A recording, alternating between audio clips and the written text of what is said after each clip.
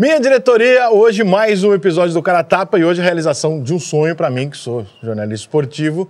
Estou diante de uma lenda, sinto-me diante de uma entidade, de alguém que eu cresci mirando ali, falando, porra, esse cara aqui, caraca. Ele mais uns três anos meus, meus ídolos, tenho certeza que você, torcedor carioca, sabe muito bem de quem eu estou falando, o mito, a lenda, José Carlos Araújo. Alô, Cheguei. Tudo bem, Eu tava Rico? esperando, eu cheguei. É lógico, cara. Cheguei, faz parte. É, é o meu cartão de apresentação, né? Não? Você é uma lenda viva. Obrigado, Que obrigado. te receber aqui. Rapaz, é muita história pra te contar, né? Nossa Senhora, você é a lenda. Engraçado, a vida. Eu me assusto quando os caras falam que eu sou lenda. Cara, continuo trabalhando, cara, com saúde, que é o mais importante. E a melhor terapia que tem para nós continuarmos em atividade. E o chefão lá de cima que dá ordem, né? Ou dá aviso prévio ou não dá. E comigo ele está renovando meu contrato permanentemente. Isso me dá uma alegria e uma satisfação muito grande, Mas cara. eu acho que o segredo é esse. Eu acho que a alegria é uma boa dose é. do, do- do- os remédios que as pessoas tomam contra a doença. Eu acho que a alegria é o melhor disparado. Aposentadoria, no- na acepção da palavra, é passaporte para o além. Eu também acho. Eu Não também é? acho. Sempre falei isso, eu falei, cara, parar nunca. Não, Ah, não mas tem uma hora que você quer descansar. Eu falei, Você pode até descansar e fazer alguma coisinha ali. Agora, ficar parado, é. você vai ficar enchendo a cabeça e vai morrer. Aí o alemão toma conta de você, Porra. vem o tal de Alzheimer aí, É, ferra você tá você. maluco. né? Não, tem que- Graças tem a que- Deus, a gente vai continuar. Você tá com oitentinha, né? Hein? Você tá com oitentinha já. 82, completando 83 em maio, mas com um corpinho de 81. 82 anos, o homem tá voando. Mas não, mas sabe o que acontece? Olha aqui, eu faço academia dois dias na semana. Musculação e tal. Eu caminho na areia fofa uma hora, é, alternando com calçadão, Você consegue caminhar na areia fofa? Areia fofa, Caraca, uma hora. 44 e não consigo. uma hora resistente, a resistência que dá. Mas eu faço isso, cara, eu nunca fumei. Então já é um. Nunca fumei. Deixa eu esconder os meus aqui. Pra... Não pode, não pode, não pode. Isso aí. Não, esse aqui pode, esse isso é aqui- inimigo. esse Mas aqui isso aí é- também é. A, a composição química é condenável. É. É condenável. Bem não deve fazer, mas... Não, mas acontece que você faz isso visando a tua profissão, cara.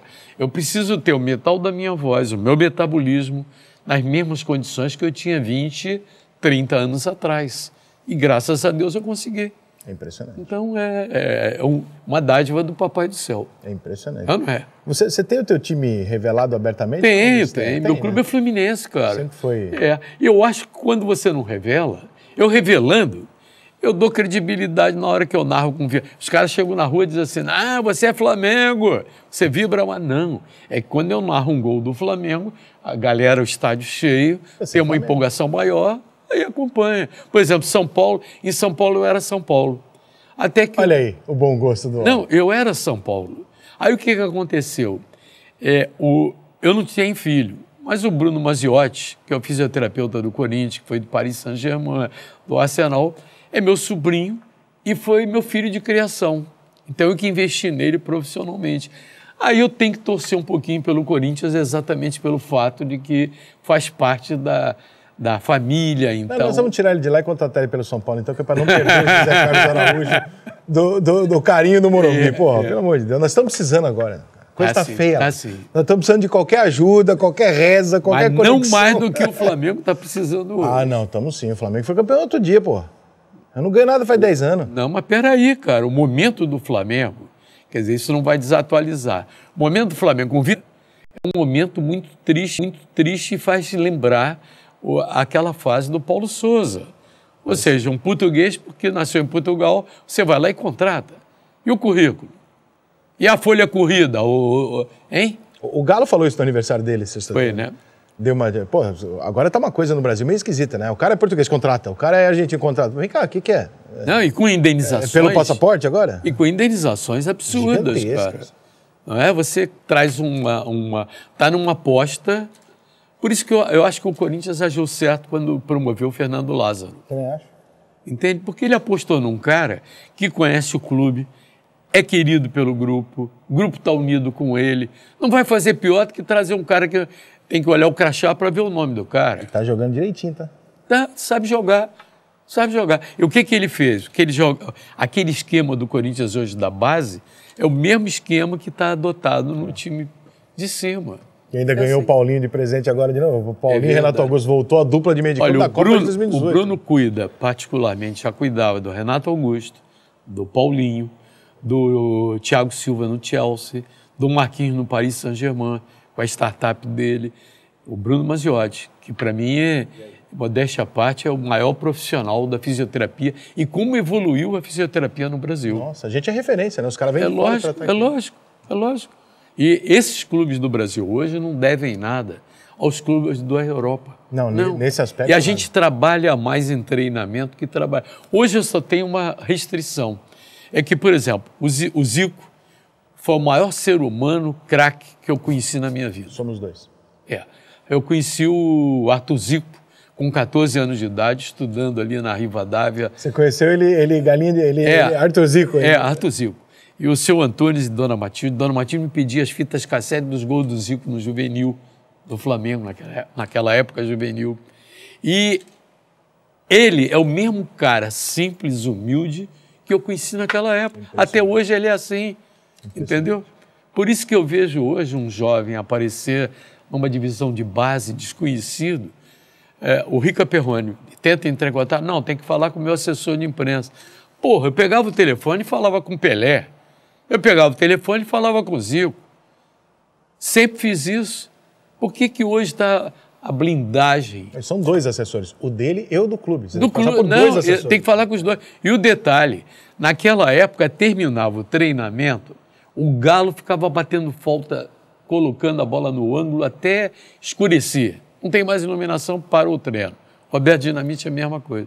Hoje, aquele negócio do fisio- fisiologista vem para cá, não, pode arrebentar o músculo da perna direita dele se continuar treinando, tira ele do campo. Porra, treinamento é repetição e é na repetição que o cara vai aperfeiçoar, cara. Fala com o Galo, ele confirma isso. É verdade. É ou não é? Por isso, que, por isso que no futebol brasileiro hoje parece que os jogadores do, do Brasil eles só têm a capacidade de finalizar no gol se estiver dentro da área pequena. É verdade. Ele chega até dentro da área Ninguém pequena. Acredita, porque ninguém, está ninguém aposta Você de não fora. treina. Porque se treinar vai machucar o músculo. Gente, isso é futebol, tem que verdade, jogar, é meu irmão. verdade. Tem que, né? É verdade. É, É verdade. uma loucura isso. É, o- mudou completamente. Você é, um, você é um pouquinho mais velho que eu, mas você. Mas nós pegamos a mesma época. né? O que eu vivi, evidentemente, você Uhum. já viveu, inclusive você narrou o que eu vivi. né? você, você era a trilha sonora do que eu estava ouvindo ali na, hora, na hora que eu vivi. Olha, você tem um título mundial conquistado por um cara que foi um dos meus maiores amigos em vida, Tele Santana. Grande, interessante. O Tele, Não, eu tenho dois. hein? Tenho dois. Dois, né? Tenho dois. 92, 93. Ah, sim, mas eu digo, o Tele foi das pessoas mais competentes, humildes, cara simples. O Tele, é, quando ele se transformou em comentarista, a gente, eu me lembro de um papo que eu tive com ele em La Paz. Todo mundo assustado, a altitude de La Paz, 3.650 metros lá no estádio, 4.100 em El Alto, no, no aeroporto. O único lugar onde o avião, para decolar, ele não sobe, ele, ele começa a descer é o aeroporto de La Paz. E não pode abastecer de combustível lá, ele tem que descer para Santa Cruz de La Serra para abastecer o avião. E eu me lembro que jantando com o Tele, trocando ideias, falando, e eu vi assim, esse cara é mais do que um treinador. Ele é o paizão de todos os jogadores. E eu me lembro de uma vez num papo, num jantar, ele me contar a história do Palinha, que foi ídolo do São Paulo e tal. Palinha comprou um carro puta num carro moderno pra caramba. Aí era muito comum um agenciador de automóvel comparecer ao treino para vender carro bonito para o jogador. O jogador pensa carro bonito e uma loura. É o primeiro projeto de vida deles é uma loura e um carro bonito.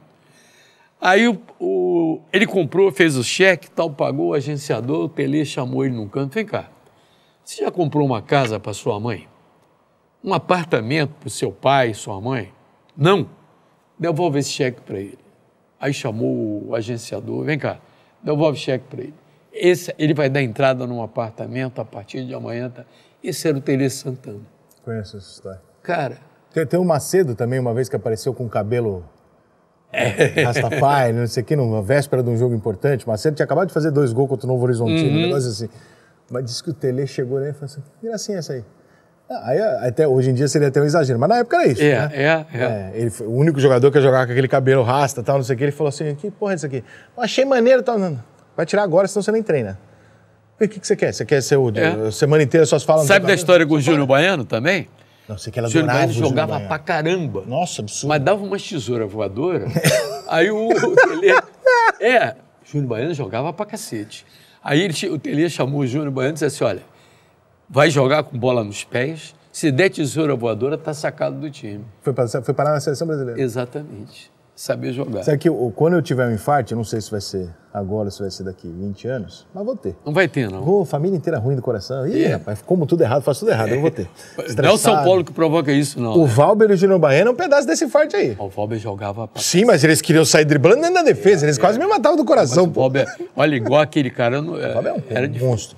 Nossa O cara que matava uma bola no peito e saía na área, pô. Né?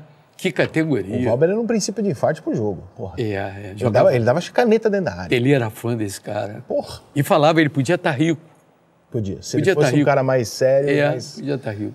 Mas é, é difícil, cara. Mas eu vou te falar, até nesse sentido, eu, eu bato muito nessa tecla. Já falei isso, inclusive, para alguns assessores de imprensa de clube, que eu me dou super bem com a maior parte deles, eu tenho essa liberdade de falar isso para eles. Eu falei, olha, esse formato hoje de blindagem do jogador, eu entendo, porque muitas vezes a imprensa passou do limite e foi para a vida pessoal do jogador, né? É. Aquela coisa de paparazzi, mostrar o que o cara faz. Eu acho isso aí também é sacanagem. Mas é né? mais a de São Paulo. É mais, sem dúvida. É. A do Rio vai junto. É. Inclusive, até. É, é- é, é-. Isso é verdade. Porra, eu me lembro que, porra, eu convivi com o Júnior, com o Zico, e tomar cerveja junto, cara. Qual é o problema?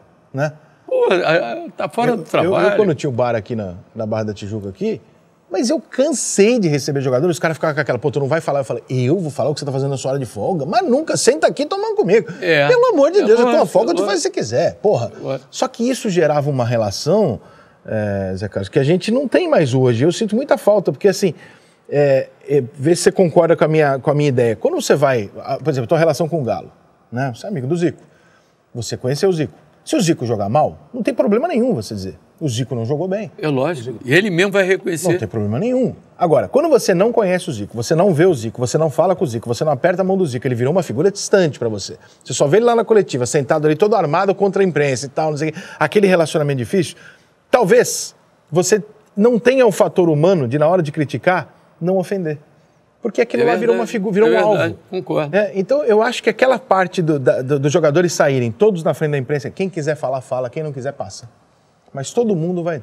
Porque aí você gera uma, uma coisa pessoal entre você e o jogador que Mas te hoje, põe limite. Vitor, o repórter setorista hoje, aquele que cobre o Corinthians, cobre São Paulo, cobre o Vasco, cobre o Flamengo, ele passou a ter uma atividade limitada. Sim. Como é, é a coletiva, você saca o áudio do treinador de mais um jogador. Eu fui repórter. Ele não precisa nem ir lá, coitado. Não, eu, fui- pois é. Eu fui repórter nove anos cobrindo o Botafogo. Na época que o time do Botafogo tinha Jairzinho, Gerson, Roberto, Zagallo começando como treinador e tal.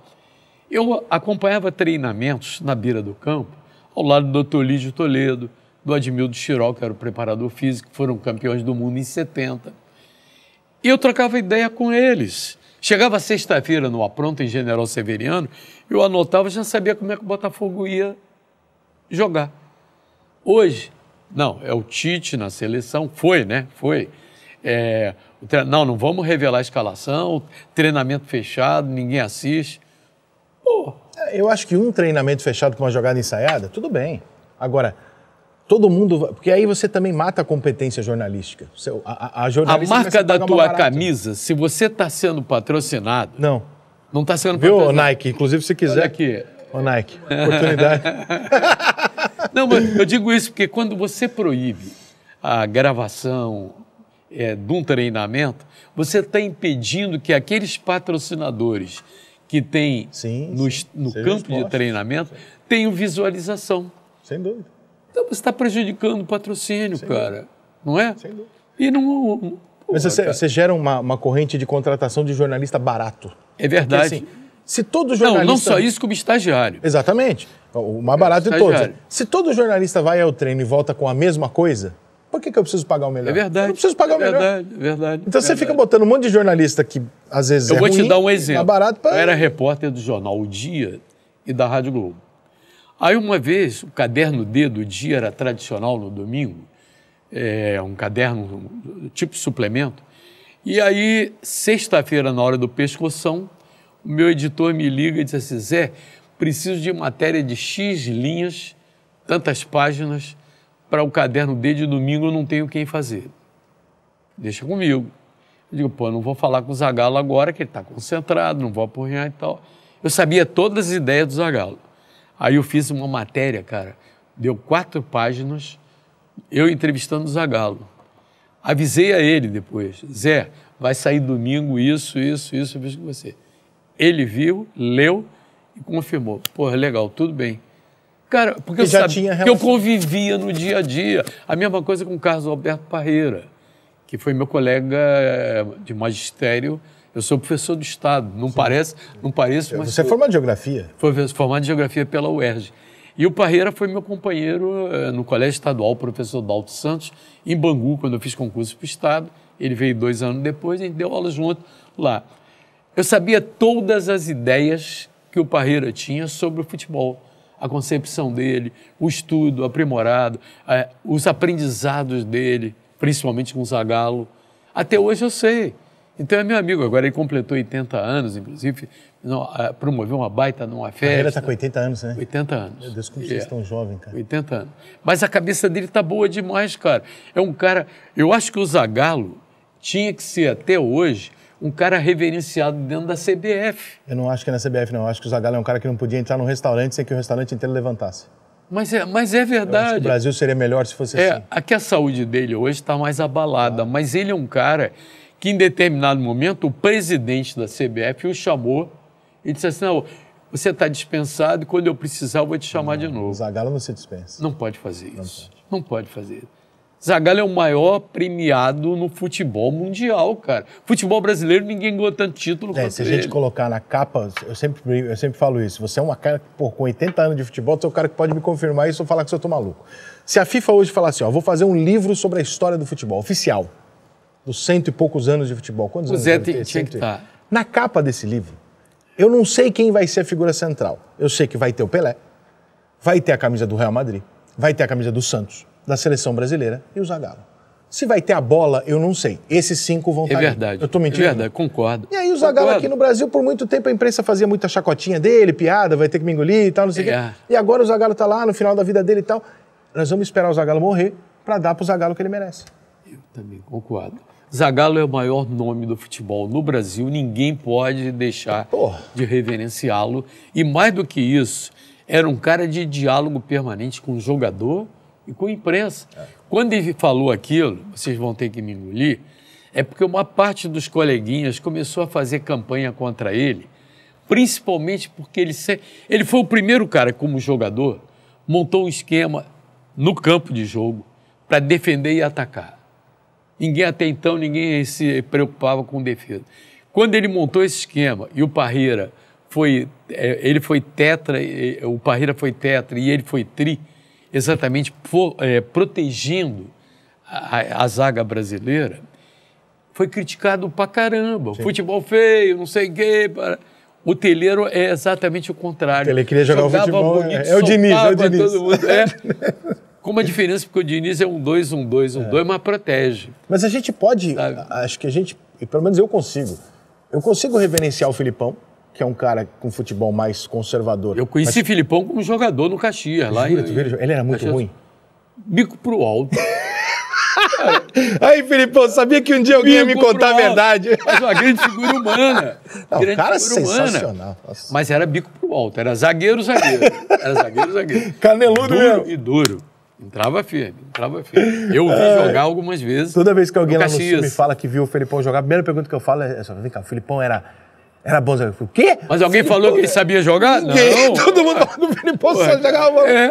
Agora, quem fica puto com isso é o Vanderlei, né? Você pergunta É. você, você era reserva do Júnior, né? O Luxemburgo era reserva do Júnior, né? Aí sabe que você pergunta, você, mas, o Vanderlei podia jogar no lugar do Júnior? Ah, Ou então disputar a posição e tal. A pessoa fala, não, não. O Vanderlei era, era bom, mas assim, não... Aí ele fica bravo, ele fala, É. não, não, peraí, peraí, não era ruim não. Hoje eu jogava não sei onde. "Bom, já não sei, o que eu ouso falar é isso. Eu vi no Campo Grande também. Não, eu vi ele jogando no Campo Grande, time pequeno. Quando ele era. é, não tinha habilidade tanto, mas não era tão grosso, não. Não era, imagina, não. para ser reserva daquele time do Flamengo, É, no mínimo é, você tinha que é, jogar bola. você não, tinha, não tinha coisa. Mas eu consigo, assim, reverenciar o futebol do, do Felipão e os títulos que ele nos deu, que são Poxa, Não- fica- botar o 7x1 acima de tudo que ele nos deu é uma, uma idiotice. Só tem uma restrição. É, o dia mais triste da minha vida foi aquele 7 a 1 O meu também. É Eu saí do. Mineirão tão chateado, mas tão chateado. É, eu tinha combinado com o Éder Luiz. O Ederley foi meu primeiro chefe. É, vamos sair para jantar com a equipe e tal. Eu estava na Transamérica. Aí combinado, combinado. Aí eu saí tão chateado, eu digo assim, peguei o ônibus da imprensa, fui para o aeroporto. No aeroporto tomei um café e comi dois pães de queijo e fui para o hotel Fazenda em Confins que eu estava hospedado. Queria dormir não conseguia. Aí no caminho eu ouvi o Filipão falar assim, alguém perguntou na coletiva, é, Filipão, é, quando tava, chegou 2 a 0 por que, que você não mexeu? Aí ele falou assim, não havia nada mais a fazer. Aquilo eu discordei, porque eu acho que tinha muita coisa para fazer. Tomando de 2 a 0 vamos mexer, seja lá o que for, cara. Dentro de casa, toda a torcida nossa. Quer dizer, aquilo me chocou. Agora, eu tenho que reconhecer o valor dele, as conquistas dele, gigantesco. e como profissional e como ser humano também. Sim, todo mundo fala que é É. uma pessoa incrível. É. Eu não tenho amizade, não É, tenho. é. Mas é uma pessoa assim, porra. É é que a gente tem, a gente tem uma- um pouco de dificuldade de respeitar a cultura local do cara, né? Que a gente tem que ter, por exemplo, o Filipão, o Dunga, é, o Tite, o Mano. Eles são daquele jeito, eles são gaúchos. É, É, uma outra é, parada, ele é, não é igual é, o carioca, não é igual o paulista, né? É, É, diferente, cara. É, você vai conversar com o Luxemburgo, o tem- Luxemburgo conta Não, a história da porra toda. E o gauchão lá das fronteiras da vida, É, quer uma paçoquinha? não, obrigado, tem uma postura diferente, né? É, O único, único, bem lembrado pelo Maurício, o único gaúcho que é mais carioca do que gaúcho é o Renato. Renato. O Renato é O carioca. Renato é carioca. O Renato, É, Renato é nasceu carioca. errado, ele nasceu muito errado. Porta-Lupe é carioca. que vitória ontem. É, pô, Deus, cara. 48 do segundo Não, tempo. e outra coisa, o Renato é, o- é um dos caras que mais sabe conquistar o grupo, juntar o grupo. Os caras jogam pra ele, é impressionante. É. Chegou o ponto que no Flamengo ele dava folga sexta-feira, cara, para alguns parceiros lá. Dava folga. Os caras reconhecem isso. Todo jogador que vem aqui, trabalhou com o Renato, fala a mesma coisa. Primeiro porque ele sabe de tática. Não é verdade que ele não sabe. Aham. E segundo, os caras falam, meu, o Renato é o jogador que os jogadores mais se esforçam pra devolver. Se o Renato entregam é um mesmo. cara, sabe, É. ele não é um cara, ele não é um cara capaz de você chegar no treino e falar assim, professor, eu posso ser embora hoje, minha mulher tá com um problema e tal.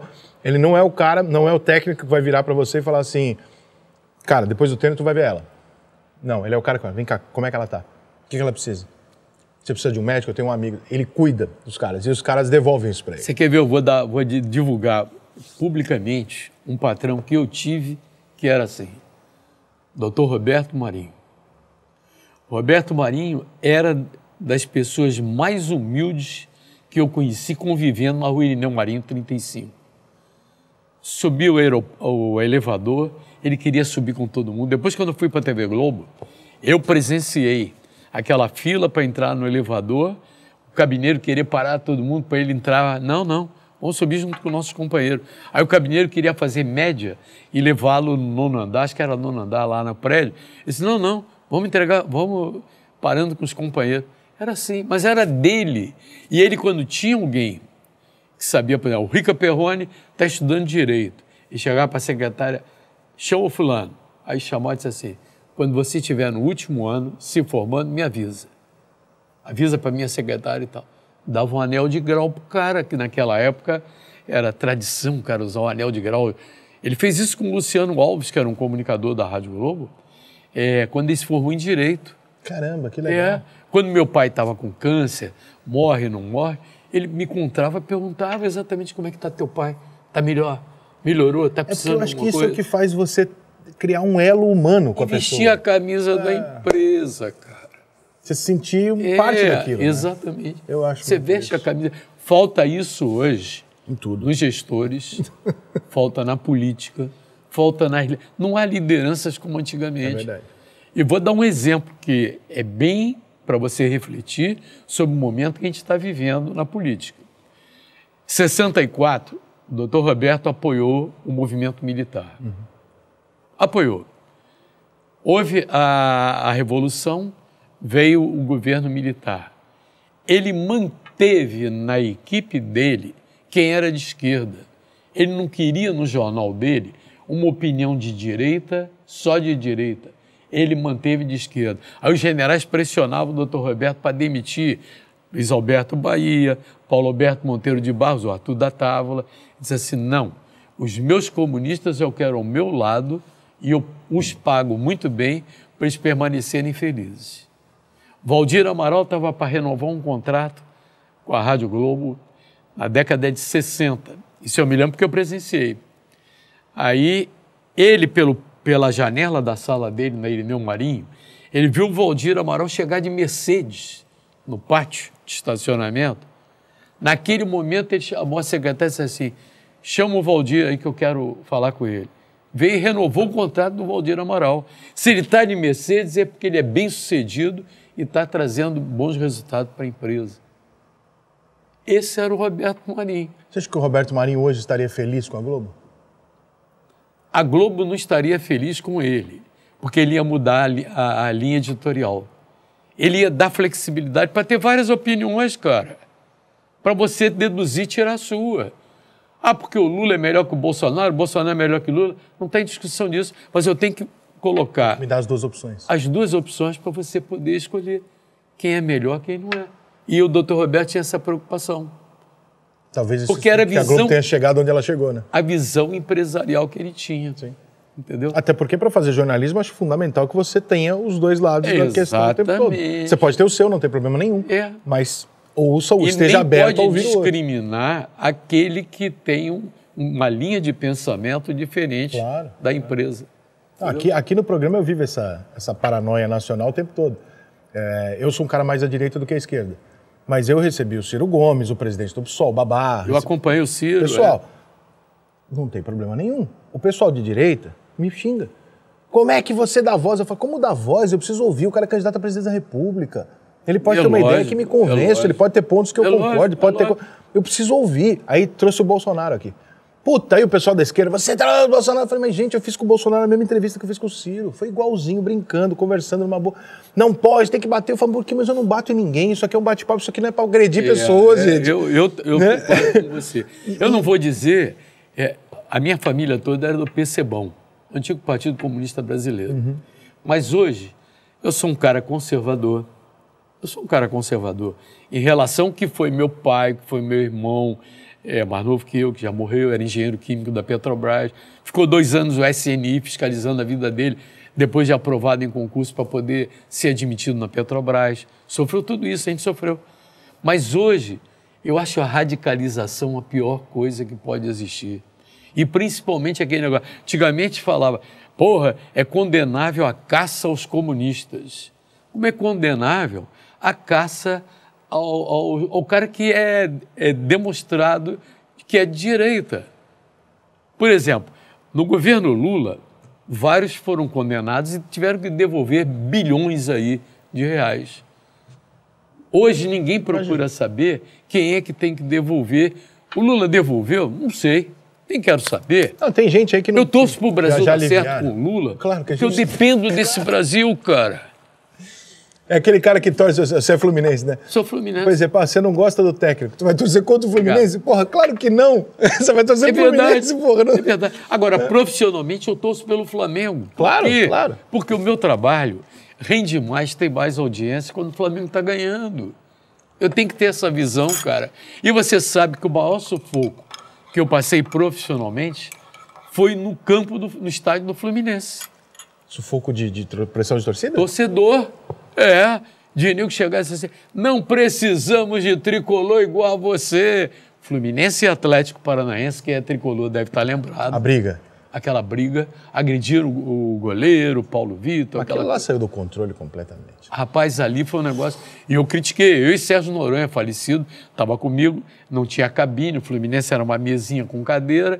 E eu sofri uma pressão violenta do- de torcida do Fluminense. Eu com o Radinho me criticando pelo que eu estava revelando. Eu não podia deixar de revelar aquilo que eu estava na minha frente, se apresentando. Lógico, lógico. Errado é errado. É. Aí por isso que hoje eu acho que está faltando um Roberto Marinho. Está faltando a visão empresarial de que nós temos que ter numa empresa, em todas as empresas seria o ideal, você ter todas as posições ideológicas para você tirar a conclusão. Até de gênero.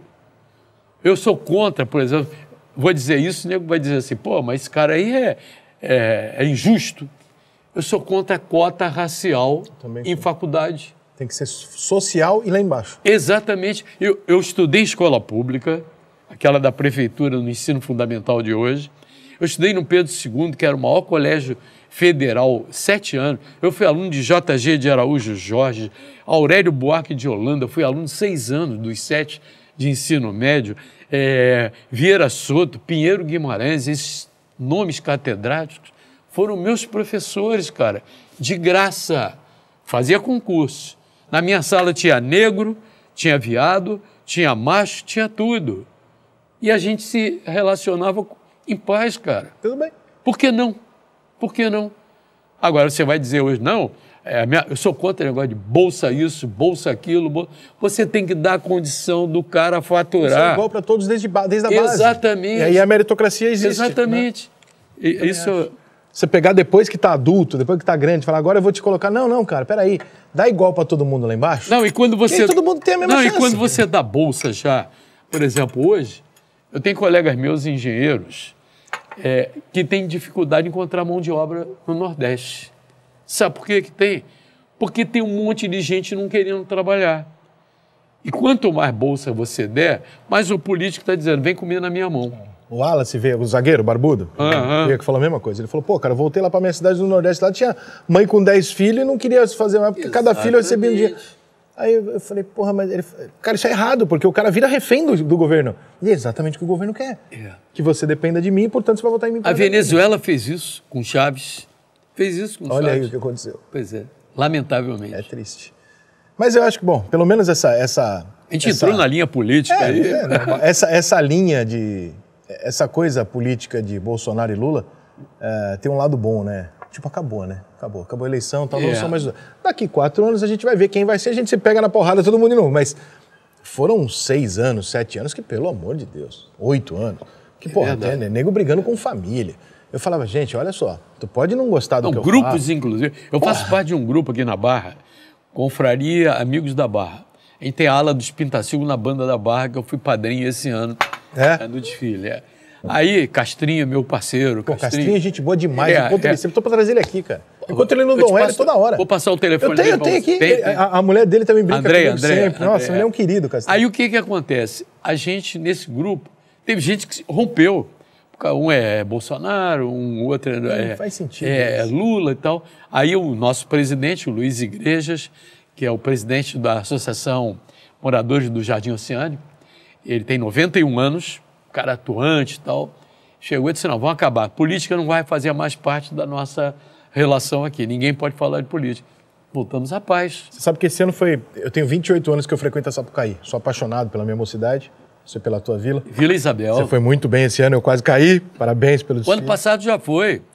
Deram Sim, um sim. quarto lugar para ela, que ela merecia melhor. O capitão caprichou lá, né? O capitão, é. capitão Guimarães botou, caprichou lá.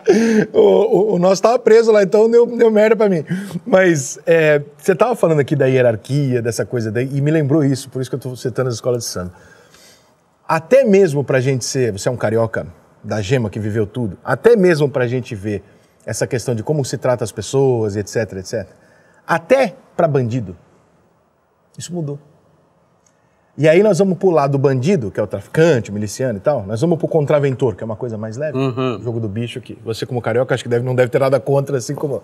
Isso é uma maneira grande hipocrisia. né? Não, Pode cavalo, pode é, mega cena, não pode jogo do O bicho. negócio caiu. Isso é uma bobagem que não tem é, tamanho. é. Mas enfim, Não, a aqui no hipocrisia Brasil, do Brasil. é o único país do mundo que o jogo é permitido e o cassino é proibido. É, não, não tem... Como é que você vai explicar isso lá fora, Não tem cara? como. A, a criminalização do jogo do bicho é uma das, das maiores idiotices que eu já vi na minha vida. Por que, que eu não posso pegar meu dinheiro e apostar ali se o rapaz está querendo fazer? É. Quer dizer que eu posso comprar uma rifa, o jogo do bicho eu não posso. Não, você pega um táxi especial e diz assim, me leva um cassino de noite, no Rio. Ele leva. Ele leva. Mole. É. Mole. Porra, mas até isso eu já notei a diferença. Eu, eu, eu mudei para o Rio há 10 anos. E eu gosto muito de escola de samba. Esse ano aqui, eu não fui, na- eu não fui no carnaval. E todo mundo falou, cara, você, mocidade do jeito que você é. Eu tenho uma bandeira da mocidade no meu quarto. Você não vai nunca. Pô, não é possível. Você tem escola em São Paulo? Não. Onde eu acho que não tem futebol, torcida organizada. Eu, É verdade, é verdade. Desculpa, é uma brincadeira entre comunidades, não é uma brincadeira entre futebol com ódio. Uma guerra, é uma guerra. Não é isso. Não entenderam nada lá. É. Não entenderam nada. Eu gosto lá da Vai Vai, Camisa Verde e Branca, das escolas, Rosas de Ouro. Mas Tem cadê história. Elas? Mas cadê elas? Tem história. Nenê de Vila Matilde, cadê? É. Tudo afundando pra quem tá com verdade, dinheiro sim. fazer. Aí, desculpa, quatro torcidas organizadas no grupo especial. Que isso? É, é. Se Torcida organizada, eu vou no estádio torcer para o meu time, eu não vou no sambódromo torcer meu Tem razão. esse ano aqui, as escolas de samba começaram a tomar lado político. Palanque para político, ala com citação para lado de lá. Eu falei, deixa eu fazer uma coisa. Eu amo tanto isso aqui que eu não vou. E eu não fui. Eu falei, não quero ver. Vai me irritar. Eu não concordo que a escola tome um partido. Eu, eu acho que temas políticos, como a gente cansou de ver, É verdade. gerais, eu acho Verdade, maravilhoso. Agora, verdade. não toma lado, cara, porque tem uma galera da tua comunidade que não é desse lado e vai, vai É. se desassociar, vai ficar uma coisa. Não faz isso. E aí eu me lembro do bicheiro do passado, que eu mal conheci, que todo mundo fala, não, seu Castor não ia deixar acontecer isso. Seu Anísio não ia deixar Eu acontecer isso. convivi com o Castor. Então, os de hoje, eh, os filhos, netos, sobrinhos, etc., É verdade. É nem isso funciona mais. É. Nem essa hierarquia funciona Ô, mais. Rica, sabe o que acontece? Falta liderança hoje no Brasil militar. É, falta liderança estudantil. Hoje a Uni se acostumou a levar mensalão É. do governo. Eu participei, quando eu estava na universidade, a Uni participava dos movimentos políticos do, do país, opinava e tinha força. Era o exemplo da maçonaria. Mas agora ela tá calada e tá coisa. recebendo. Tem mensalão.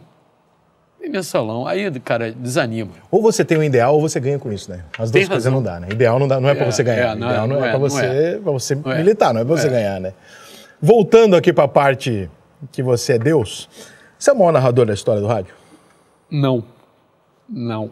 Eu vou falar dos meus ídolos. é, O Valdir Amaral foi o cara que me deu oportunidade. Primeiro, o Celso Garcia, que foi quem levou o Zico para o Flamengo, foi quem me levou para o rádio esportivo. Caraca, esse cara levou o Zico pro Flamengo e você pro rádio? É, me levou para o rádio. Foi meu, minha monografia, final de curso, foi, foi meu orientador. Foi teu orientador? Ele É? tá vivo? Na casa dele. Não. Ah. É, eu, Beleza, Esse cara é uma lenda. né? Esse cara, esse cara, eu conheci o Zico através do Celso, que era vizinho dele na rua Lucinda Barbosa, no, em Quintino. E eu frequentei a casa do Zico quando ele era garoto.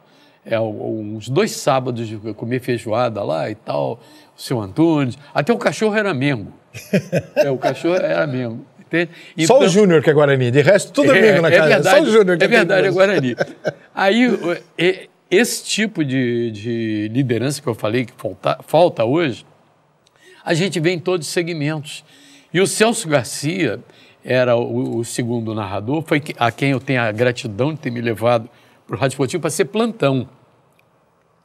Ele conhecia meu pai, que era contador da Rádio Continental, e com Valdir Amaral, era o chefe, antes dele ir para a Rádio Globo.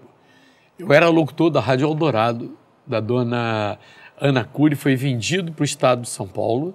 Eu era locutor da Eldorado do Rio, fazia um jornal Pirelli de manhã cedo, em rede com São Paulo.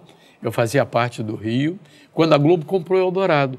Aí eu tive a oportunidade de ser rádio escuta na Globo. pá, Comecei pá, com uma rádio escuta também. É. Ficava buscando os gols, falando, olha o gol. Aí eu Não, e outra o coisa, não tinha internet. É, tinha que ligar no estádio. É, e outra, ou então pegar aquele Transglobe com 12 faixas e fazer a Rádio Escuta, a Rádio Clube do Pará, a Itatia, a, a Inconfidência de Belo Horizonte, um mundo culta Nossa, forte pra caramba. Né? E, e assim eu comecei. Então, eu convivi com Jorge Cury, que para mim foi a maior voz do rádio esportivo, e o Fiore Giliotti. Gênio. Abrem-se as cortinas. É, as cortinas, é. O Fiore, que foi meu amigo, eh, me lembro de uma viagem que a gente fez a Israel, o Fiore com um guia, eh, mostrando toda aquela a história religiosa dentro de Jerusalém. Então, o Fiore contando a, a vivência dele, como ele vibrava com aquele momento, cara. Esses eh, românticos do rádio antigo, como era o do Valdo Cosi no Rio, Fiore Giliotti em São Paulo, é, o- esses locutores não existem mais, porque a gente tinha que construir com palavras Existe você. as imagens. Não, mas hoje eu, te, eu entro, por exemplo, meia hora antes de uma bola rolar. O máximo que eu posso fazer é bater um papo com o Apolinho sobre o aspecto do jogo. Apolinho, você acha que esse Vitor Pereira vai continuar? Que é outra lenda. Vem cá, ou a sogra dele vai piorar. Essa é uma lenda. Entendeu? Então, é, quer dizer, é, fazer uma coisa diferenciada, um papo leve. Mas é que talvez a gente, porque quanto a gente está em atividade, a gente não tem a dimensão, né? E eu fico sempre observando isso em todas as áreas para imaginar, falar assim, esse cara não sabe ainda. Por exemplo, o Zico. Você conhece bem o Galo. Como a gente falou aqui no começo do Zico. O Zico não tem a dimensão de quem ele é. É verdade. Ele não sabe. É. Você não tem a dimensão de quem você é. Já ouvi algumas pessoas falarem isso para mim. Você não sabe. É. Porque, Mas- não, se você parasse hoje, Zé, e amanhã de manhã você falasse, estou indo embora, você não tem noção o vazio que ia gerar em quem ouve futebol. Você sabe que o Eduardo Paes, é, eu fui apresentar um projeto para ele no governo anterior, não esse atual da Prefeitura Antes do do, Rio. É. Aí ele chegou para mim e disse assim, Zé, você estava na Rádio Nacional, eu chegava do colégio na hora do almoço, ligava para o programa lá, o Bate-Bola Nacional para você e tal. Quer dizer, eu sei que, é, como eu trabalho há muitos anos, são várias gerações. E é comum encontrar, às vezes, em estádio, como aconteceu essa semana no Maracanã, o cara lá do Espírito Santo falou assim: pô, eu fiz comunicação por tua causa, te ouvindo. É? é? Não, eu, eu- eu traba- eu trabalho com futebol porque eu queria é, fazer. Eu queria conhecer o Senna e o Zico. São os meus dois grandes ídolos. O Senna eu não tive oportunidade, não deu tempo. Eu também não tive oportunidade. É, e- e a minha- Conheci a Xuxa e não conhecia o Os- A. Xuxa ainda não conheci, mas tive aqui com o Fly, dançarino dela essa semana, e o Manel, que foi diretor dela aqui, tá sempre aqui com a gente. Mas é, eu queria. As minhas vontades, eu falava assim, poxa, eu queria ser igual o Silvério, o Zé Carlos Araújo, o Milton Neves, o Galvão Bueno. É, eram os caras assim que eu idolatrava. Então, assim, eu tô aqui fazendo o que eu faço, é culpa tua também. E eu não sei se vocês, eu não sei se é de conhecimento de vocês, mas o jogo no Rio às seis é uma tradição. O jogo em São Paulo jamais foi às seis. É verdade. Não tem praia, não tem É verdade, calor. é Tem aqui, verdade, é então, verdade. Nunca foi assim. E vocês tinham jogo segunda noite também. Tinha uma maneira de fazer jogo É, segunda noite é, no Carioca que é, lá não tinha. é. O que acontecia? A Rádio Globo em São Paulo, às vezes, ela retransmitia. E às vezes, a Rádio Globo do Rio pegava em São Paulo. Não me pergunte como. Mas às vezes acontecia. Então, o pouco contato que eu tive... Mas como- era onda média à noite, a propagação era maior Pode do ser, AM. pode ser. É. Eu não tinha E, e canal internacional, 1220, por exemplo, Rádio Globo, não tinha nenhum canal naquela frequência. Então, a propagação à noite era muito mais Pode fácil. ser, o pode ser. Nordeste todo me ouvia, o Norte me ouvia. Não, eu, eu ouvi os jogos de segunda-feira domingo depois do São Paulo, eu voltava para casa, eu tinha que esperar às oito da noite, mesa redonda, para ver os lances do jogo. Eu tava no Morumbi, obviamente. Uhum. Eu chegava, botava lá na rádio, achava a Rádio Globo, está começando o Flamengo e Vasco no Maracanã. Vou ouvir, eu era tarado pro futebol. E o Zico, meu grande ídolo, jogava no Flamengo. Eu não podia ver o Zico na televisão todo dia, eu era de São Paulo. Então eu tinha que ouvir o jogo do Zico. É. E aí você. Aí eu, aí eu já cresci já falando, porra, tem um Zé Silvério aqui que é o pai legal, do gol. que legal. E tem o Zé Carlos Araújo no Rio, né? E Silvério, meu abraço para ele. Silvério Nossa, é uma Silvério é- grande figura humana. Eu entrevistei o Silvério, não vai lembrar de mim, óbvio. Eu entrevistei o Silvério quando eu estava começando na faculdade. Zé, mas eu tremia. É mesmo? Mas eu tremia. Eu não tinha, eu, eu- E ele eu- tão humildezinho. Mas né? eu tremia porque eu estava de frente com o cara que eu queria ser. Eu tremia com ele. É. Eu fazia pergunta, só pergunta de idiota pra ele. Porque ele, ele falava... Você Você conhece o Marcelo Gomes, produtor da ESPN? Não, acho Marcelo que Gomes não. me falou a mesma coisa de Silvério e a meu respeito. Ele veio fazer uns especiais aqui no Rio, ficou dez dias me perseguindo, né? Ia para a rádio, ia para o estádio, ia para minha casa. Eu ia caminhar na praia, vinha com a equipe. Fez um especial maravilhoso comigo, Milton Neves, Osmar, é, o, o, é, o lá de Porto Alegre, Pedro Ernesto. Pedro Ernesto? Pedro Ernesto de Porto Alegre, Que, que, o Derdini. Piquetito, o, Mar, o Marra lá no... Não, o Mário Marra é é comentarista. Não, não, o não desculpa, é- o Marra não. O Caixa lá de Belo Horizonte, talvez? Caixa, o, o Álvaro, o, o- Eu sei quem é, o Magrelo, o Alto. O Caixa é maravilhoso. É, cara. é, Porra, é. ele narrando os jogos do Galo, eu me emociono. eu nem É, sou Galo, é, porra. É, é, é. Porque ah, eu me lembro de uma frase do Chacrinha. Eu não fiz força para isso, não. Eu revelo sempre e reverencio Chico Anísio, Gênio. Chacrinha, Gênio. foram os caras que mais me ajudaram na carreira. Era um cara desconhecido, era, não era doutor titular. Chacrinha me botava no júri, cara, para julgar calouro. Aí, porque eu falava, olha o Vasco, o Vascão aí, o Vascão do Chacrinha descendo pela direita e tal. Então, Chacrinha aí me colocava no júri. Mário. Henrique Caixa, me lembro Chico, mais. Mário Henrique, Mário Henrique. Que é, que é deputado, inclusive. É, né? é, é, deputado, é, né? é. Depois eu vou te contar porque que eu não entrei na política, que fui pressionado pra caramba para entrar. Aí o, o, o, o Chacrinha me fazia. E o Chico Anísio é a mesma coisa. O Chico Anísio era meu fã. Imagina um gênio daquele, nosso Charles Chaplin, chegar para mim e dizer assim: Porra, Zé, eu sou teu fã. Eu adoro. Pô, a- a Chico tua- Anísio é demais, Cara, aí ele me botava no Chico Anísio Show, no Chico City, me promovia pra caramba. E eu me lembro de uma frase do Chacrinha. Olha só, Chacrinha. Chegou para mim e disse assim: Zé Carlos, fica preocupado de ser melhor, ser pior, não. Você não, não vai titular. Mas você é diferente. E diferente vai ganhar dinheiro o resto da vida. Ele que era o diferente, Ele era diferente. tanto que nunca mais, na televisão brasileira, pintou um Abelardo Barbosa. Maluco, Chacrinha. aquilo lá. Cara, nunca mais pintou. Verdade que eu Porque ele era o era, diferente. A trilha sonora do domingo era Avelado. Barbosa. E ele chegou e falou isso para mim, cara. Então eu fui abençoado por ter sido ajudado por esses dois gênios da comunicação que vinham em mim, garoto, porra, começando. é, é, não era titular, não era titular. O meu chefe, o Valdir Amauro, tinha um ciúme danado às vezes, que eu aparecia. De repente, eu fiz uma campanha publicitária é, da Texaco, do Avoline, lançamento do óleo Avoline. Eu trabalho em publicidade desde 68. Eu fui contato da Globo 10 anos. Então, eu aprendi a dominar a- a- o mercado publicitário, a, pelo menos conhecer o- os caminhos, né? É, Milton Neves é outro no Rádio é Esportivo, o Éder Luiz é outro. O Éder Luiz. É. O- o, Então- Paulinho tem o Brunão, né? É, o Brunão. O Paulinho tem o Brunão pra fazer. Meu afilhado.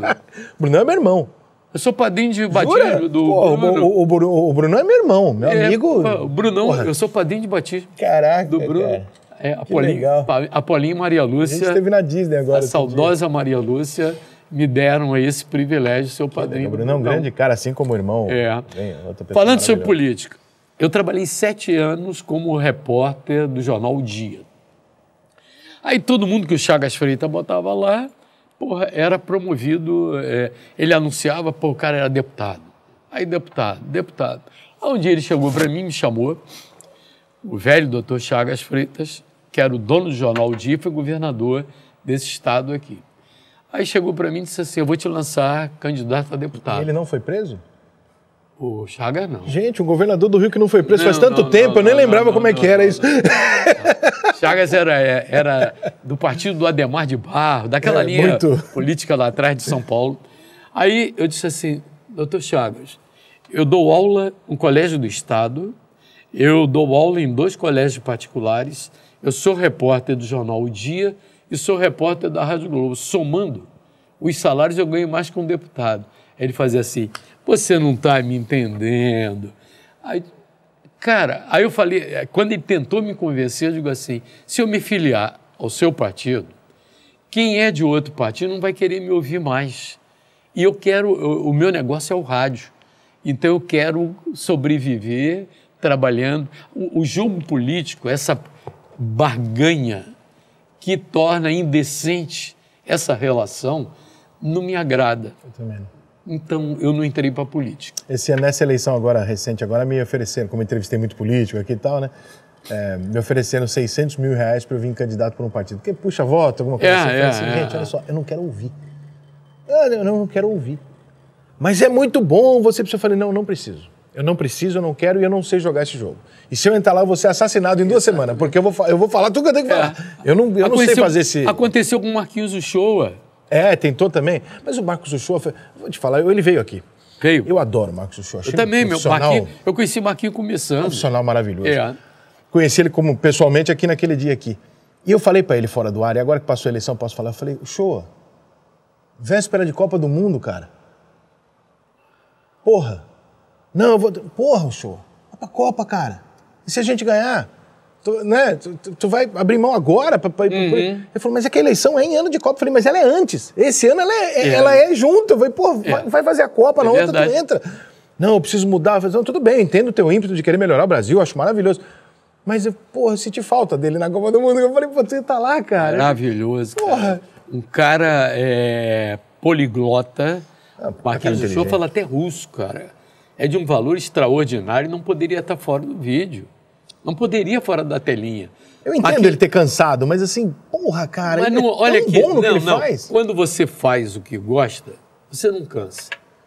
Porra, eu canso, sabia? Hein? Você não cansa, eu canso. Ah, eu não canso, não. Eu quero. Olha, o, O jogo, dia- na verdade. Não, eu acho o seguinte, por exemplo, quando eu transmito um grande jogo, estádio cheio, eu saio de lá realizado, cara. Então, aí eu, eu entendo, eu, eu concordo com E você. aquilo ali me dá motivação. Quando, quando tem, o- quando, quando tem o jogo épico, É, parece que a gente toma uma injeção. é, né? é isso mesmo. Então, por exemplo, eu tô lá ontem à noite, vai, eu fiz a corrida porque eu amo Fórmula 1, fiz lá a live com o Cacá Bueno, filho do Galvão. Depois do- da corrida, fizemos a corrida, fui, fui almoçar com, com o Caio Ribeiro, queridíssimo também. Aham. Voltei pra casa correndo, vi o São Paulo virar o jogo ali, começou o Flamengo e Vasco. Já me deu uma. Eu, tô- eu não tava afim, eu tava cansado, era domingo, tive problema de saúde com família essa semana e tal. Já. Opa, porra, legal, jogo. Pô, casa cheia, emoção, pênalti perdido. É e tal. outra coisa. Aí terminou 8 horas da noite, falei, puta, lá vamos nós pro Grenal. Você já tá. Eu queria pedir uma pizza. eu Não, eu É. vou vou ver o Grenal, porque o Grenal é um Grenal. Aí o Grêmio me faz o gol aos 48 do segundo tempo. Quando acabou o jogo, eu entrei, eu tava feliz da vida, porque eu falei, dá uma injeção quando É, tem um é grande assim, jogo. é né? assim, é assim. Isso é, inclusive, um dos motivos de eu sentir uma falta danada do mata-mata e odiar esses pontos corridos. Eu falo, porra, É verdade. era uma injeção o tempo Não, inteiro. E a maior frustração para quem trabalha em comunicação, como nós, é transmitir um jogo de 0 a 0 É horrível. Cara, E estádio vazio. É frustrado o torcedor do- da torcida A, da torcida B, e o cara que participou dali, porque, porra, a razão de ser daquilo ali é um gol. Como, por exemplo, o Vasco ganhou do Flamengo de 1 a 0 gol do Pumita lá de fora da área. Eu gritei golão, golão, golão, vibrei Foi o um tempo. golão. Cara, e foi, e foi, golão. e foi. Entende? Aquilo ali, pô, tá certo. Pô, o futebol, a gente depende dos grandes clubes estarem bem, exatamente para a gente sobreviver e manter acesa aquela chama que ainda dá, ainda dá para o time A, time B. Isso é do cacete. Essa lição que eu levo na vida, na carreira, Hum. eu levo de, é, tua e do Galvão Bueno. Vocês me ensinaram Galvão é isso. meu amigão do peito. Vocês me ensinaram isso, porque é, é muito difícil você do lado de fora ali, você fica olhando e você fala assim, tá, mas então eu tenho que levar a verdade pro torcedor. Não. Ele não tá ali por causa da verdade. Ele tá ali para viver um sonho. É. A verdade ele vai ver o Jornal Nacional. É o jogo é o sonho. Você leva o sonho. Aí eu fui demorando a entender, mas por que, que eu preciso, por exemplo, exaltar o Atlético Mineiro, ou entender a grandeza do Galo? Peraí, peraí, peraí. Você só existe porque o Brasil tem 12 clubes muito grandes, além dos outros, mas tem 12 É, isso é clubes. um continente. Se você não levanta, você não mantiver esses clubes no tamanho deles, só tem um cara que vai perder. Você. você está diminuindo seu E produto. outra coisa também, a razão de ser, quando se fala assim, ah, na Europa não tem, tem que acabar aqui com os campeonatos regionais. Campeonato regional não pode acabar, não. Eu não gosto mais. Aquele sarro que você tira em cima do. Não, o torcedor do Corinthians tirar um sarro em cima do Palmeiras, Palmeiras tirar em cima do Corinthians. É no regional que você tem mais. Podia ser mais curto, né? Eu concordo. Não precisa. pa- Mas aí é só negócio de sobrevivência dos pequenos. 12 jogos É, para é, chegar naquela é. semifinal que nós Concordo. sabemos qual é. Eu concordo. A gente concordo. sabe qual é. Concordo, concordo. Você viu É. ontem, acabou o Grenal. E aí, o que, que aconteceu? Falei nada. É o Grenal. É o Grenal pelo Grenal. Não é o campeonato, porque o campeonato já estava os dois É. É o Grenal pelo Grenal. É, é, é o é. jogo em si, né? É. Mas eu acho que a zoação maior é no regional, não é no campeonato brasileiro. Sim, sim. Embora, embora a internet tenha aproximado isso. Você vê uma rivalidade hoje entre Palmeiras e Flamengo, Atlético Flamengo, É. que não era uma coisa tão. Hoje eles se pegam. é, é, né, é, na- é. Até pelo tipo de investimento que o Palmeiras fez, Sim. fez crescer no cenário. Né? Ainda Não, bem que o Abel não tem sogra passando mal, chamando de volta para Portugal. Falar rapidinho do Vitor Pereira, para não passar. Ah, Qual que é a tua imagem dele? O que, que você acha? Independente do, do trabalho, como é que você viu essa, essa troca? Para mim, isso mexeu mais do que o trabalho, isso me incomoda mais do que o trabalho, o jeito que ele saiu do Corinthians e tal. Não, o- do jeito que ele saiu do Corinthians, saiu pela porta dos fundos. Agora, incomoda mais ao torcedor e a nós da imprensa a maneira como o Flamengo se explicou para não continuar com o Dorival. Ou seja, não explicou. Não explicou. Não explicou. Então, alguma coisa muito grave aconteceu? Pode ser? Não sei, mas tinha que vir a público e revelar. E se você dissesse, não, eu troquei o Dorival porque o Ancelotti está disponível, é, é, e eu, eu quero trazer um técnico do cenário internacional. Você cenário um cara mundial. que ganha uma Libertadores e uma Copa do Brasil embora é quase impossível. Cara. Você não tem como fazer um negócio desse. E o currículo do Vitor Pereira não credenciava para vir. Primeiro para o Corinthians. Ele fez um trabalho limitado, mas agradável no Corinthians. A, a sorte, por exemplo, o do Abel também não, né? O Não, o Abel não, tinha não, dirigido não, o Paok e o não. É Palmeiras verdade, trouxe. é verdade. Quem contratou um cara que tinha currículo foi o Santos com o Gesualdo e não dei nada. Agora, eu conversei com dois jogadores do Corinthians que me revelaram o seguinte: primeiro, o Vitor Pereira é ruim de vestiário. Uhum. Segundo, é péssimo de relacionamento. Uhum. Quando ele saiu, ninguém se despediu dele. Porra, isso aí já não o credenciava para trazer para o Flamengo. Ou seja, ninguém do Flamengo deu uma telefonada lá pra saber. Porque se Não. ficasse sabendo. Rapaz, é- é- olha, me surpreendeu. E quando eu ouço o Marcos Braz falar, não, porque foi decisão nossa, da diretoria, não continuar com o Dorival. Mas, pô, por quê? Os resultados não agradaram? Ou então diga alguma coisa no, no- no sentido: olha, é uma decisão que envolve questões pessoais. Ok. É, não vamos é, tentar não vai entender, porque aí em- pode ser é, é, problema é. com família, um ninguém tem nada a ver é, com é, isso, ninguém, é. isso é bobagem. Mas Agora, não houve esse tipo. Se está falando que o problema é profissional, a gente quer saber qual é o problema profissional do cara que acabou de ganhar. É verdade, é verdade, é verdade. É verdade. Porra, eu nem acho o Dorival tão bom assim, não. Mas assim, ele ganhou, cara. Mas tinha um grupo na mão. E, Porra, ele ganhou, os caras gostavam dele. Por que, que tu vai trocar? Tinha assim, vai assim. trocar, você vai, vou trocar para trazer o Ancelotti, como você falou, o Guardiola. Beleza, irmão, é uma oportunidade de mercado. Agora, para trazer o Vitor Pereira, quem, quem Vitor quem? É, quem é esse cara? E a comissão técnica, olha, o Flamengo errou no planejamento. É o ti, dos times grandes do Rio, é o que tem pior condicionamento físico nessa temporada.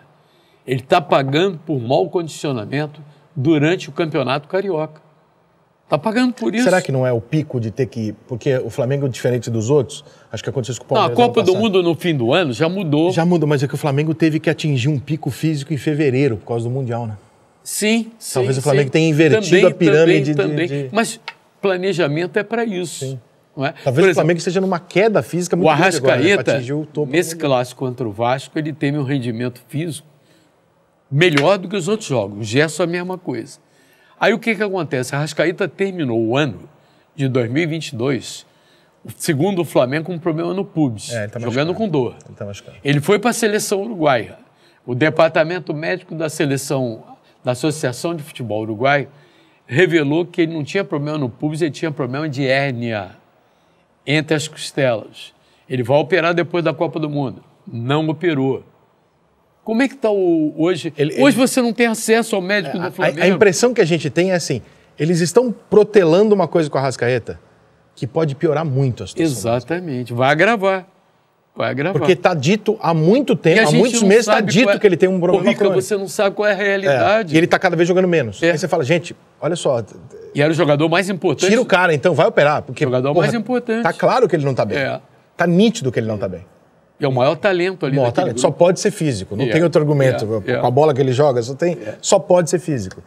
E aí é difícil. Essa- é- essas coisas realmente incomodam, né? Da gente ficar olhando e falar, cara, fala pra gente o que, que é, fala, explica mais ou menos o que, que é, Transparência, cara. que a gente não consegue entender. entendeu? Transparência, transparência. Difícil, difícil. Zé, o, o rádio tá num caminho jamais visto, né? A internet Me- mudou o rádio. É, no meio assim que ninguém sabe muito bem. Por outro lado, assim, é, a internet aceitou o rádio. Você ouve na Ampliou. internet. Você ouve na Ampliou. internet. É. É, o que, que você acha que vai acontecer? Você acha que vai mudar? Você acha que o rádio é, vai se adaptar? A, a, a internet vai ser uma coisa, como todo mundo tem acesso a dados, não vai mais precisar das ondas curtas, ondas médias? Não, isso já não precisa. Todo mundo vai ligar no carro ou em qualquer lugar o próprio rádio. Ô, Rica, hoje eu estou transmitindo o jogo. Eu estou com o meu celular aberto, ah, o grupo me coordenando, eu estou com o laptop aberto, é, ouvinte no Japão, ouvinte em Israel, tem uma cidade chamada, acho que é Modim, de madrugada, os caras, os malucos se juntam, rubro-negros, acompanhando o jogo do Flamengo de madrugada, duas e meia da manhã, em Tel Aviv, Modim. Então, me ouvindo, jogo do Flamengo. Esse é o alcance maior que a internet deu para o rádio. E outra coisa, eu fiz televisão durante muitos anos. A última foi o SBT, TV aberta. Eu pedi demissão, já estava de saco cheio e tal.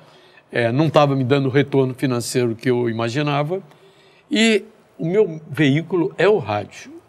é muito mais. O Chico Anísio falava isso, é muito mais difícil fazer rádio que fazer televisão. Porra, mas muito. Nossa Senhora. Então. Você tem que fazer o cara imaginar o que E ele o você tá Nelson. Rodrigues tinha uma frase, saudoso Nelson Rodrigues, com quem eu convivi Gênio. lá no Jornal Globo. Ele dizia o seguinte: as imagens criadas pelas palavras são mais ricas do que aquelas que estão na telinha da televisão. Muito mais prazeroso que você que criou. Tá na tua cabeça. É. Você, o, o- O imaginário é um negócio. conviveu com o Nelson. Sim, Isso, é- isso é bizarro, porque assim, é meu grande ídolo. Tricolor. Meu grande ídolo na escrita é o Nelson Rodrigues. No, no dia, no, no mundo chato que vivemos hoje, onde nada pode, tudo é interpretado, né? Eu Muito posso- mimimi. É, ontem quase derrubaram uma mensagem minha no, no Instagram, porque um amigo meu, que a gente chama canalizamento de negão, porque é um negão de dois metros de altura, de altura ele, ele postou uma foto comigo e falou: saudades, meu irmão. Aí eu falei, saudades do meu negão. Meu amigo, porra, é assim que a gente se chama. É, é, mas- Ah, não, eu falei, cara, olha só, é carinhoso, é, sou eu Imagina o ele. Pelé hoje. O Nelson Rodrigues hoje não conseguiria nem escrever. Não, não mesmo, não mesmo, não mesmo. Se ele bota lá que toda a família tem uma irmã Censurado. puta, é, viado, é, não sei o quê, é, é. tá fudido. censurado permanentemente. O Nelson que foi uma figura humana assim, diferente. Ele era um diferente. Ele era o cara diferente. Entende? João Saldanha, outro que eu convivi durante muitos anos, trabalhando com ele, viajando com ele, era um diferente. O João era diferente até na hora de comer. João Saldanha, eu me lembro que a gente viajava. Antigamente no avião vinha aquela bandejinha com a refeição, pequena refeição, né? Distribuindo, pá, pá, pá, pá, pá. Ele trocava tudo que vinha na bandeja dele por pão e manteiga. Então a gente dava o pão com manteiga para ele, para ele comer pão com manteiga. Eu me lembro uma vez, uma viagem. Bela que- escolha, hein?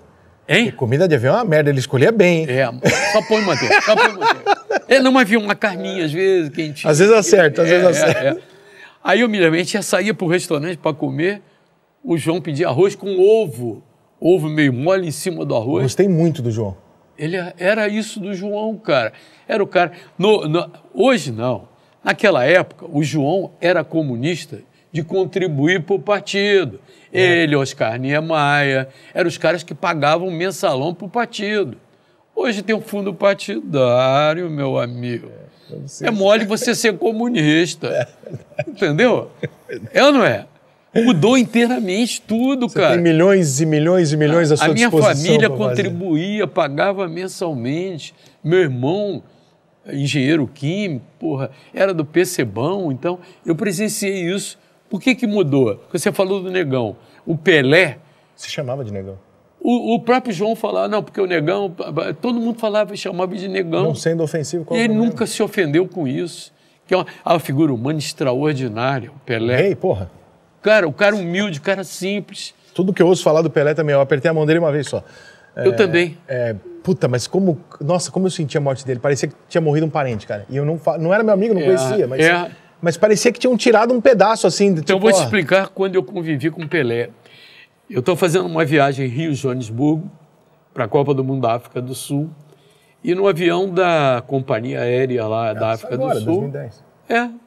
Aí estava o Casagrande, o, o Galvão, todo mundo na- não tinha a primeira classe, era todo mundo executivo. Aí tá aquele grupo Júnior batendo papo tal, com Pelé lá, e eu tô no meu cantinho lá lendo e tal, no cantinho. Aí de repente todo mundo foi se acomodar, eu levantei para fazer xixi, e no banheiro o Pelé estava na primeira poltrona, né, a classe executiva.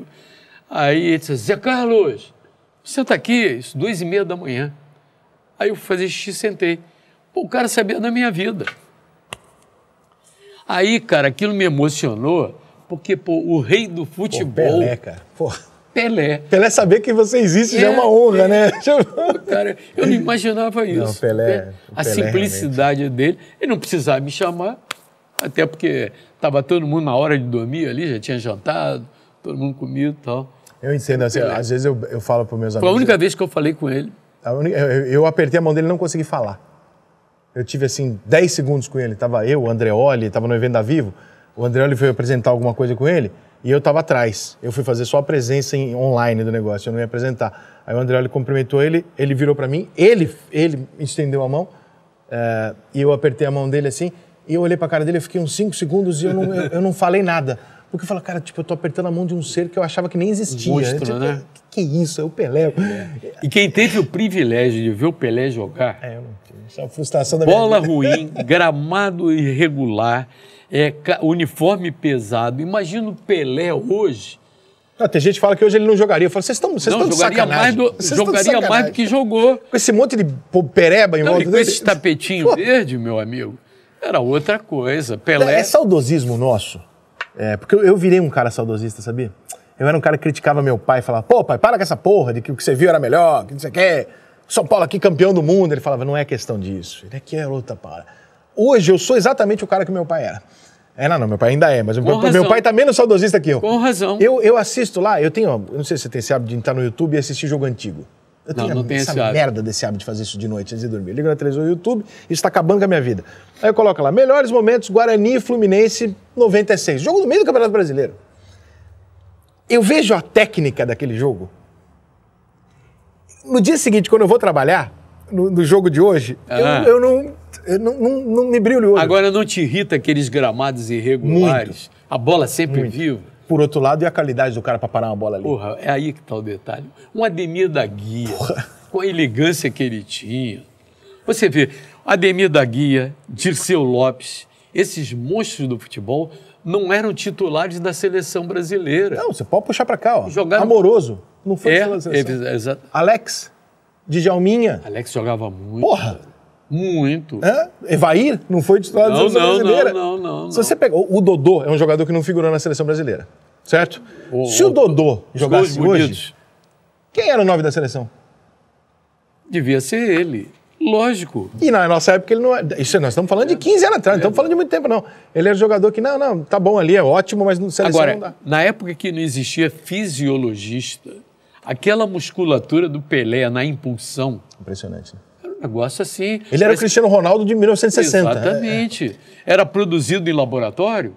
Porra, o cara não tinha o trabalho. Não se trabalhava fisioterapia, entendeu? Fisiologista. Cara, é. É impressionante. Inclusive, isso me assustou um pouco na morte do Pelé, sabe? Eu achei que o Pelé era um cara que ia viver 100 anos. Pelo, pelo dote físico do Pelé, eu falava, cara, É de pode derrubar 40. esse negão aí, meu irmão. Era de 40. Porra, esse cara aí é... tá maluco, né? Agora, o Pelé morreu de uma doença que o Roberto Dinamite também teve. E eu aconselho, serve aqui de papo, o exame de colonoscopia depois dos 40 anos é da maior importância, porque se você tiver tendência ao câncer de intestino, o pequeno pólipo que começa lá no intestino, ele é extirpado no início do, da evolução da doença e você não vai morrer de câncer de intestino. Essa semana eu tava com uma pessoa da minha família internada, a CTI ali do, do Samaritano. Aliás, sei se foi, mas muito obrigado a todo mundo do Samaritano, tratamento Fiz a incrível. colonoscopia lá, Tá é incrível, campeão. Incrível, campeão. incrível, incrível, incrível, incrível. As pessoas, né? O tratamento, incrível, incrível. Muito obrigado. E, pô, você acredita que duas, três pessoas me falaram isso entre os médicos que iam lá? Porque, ixi, sabe como é que é? A gente trabalha com É, futebol, a gente sabe. é. O médico chega e fala, pô, tu é o Rica, beleza? Pô, começa já a resenha de Flamengo, É, Botafogo, é, faz- é. futebol é um negócio de É. todo mundo, né?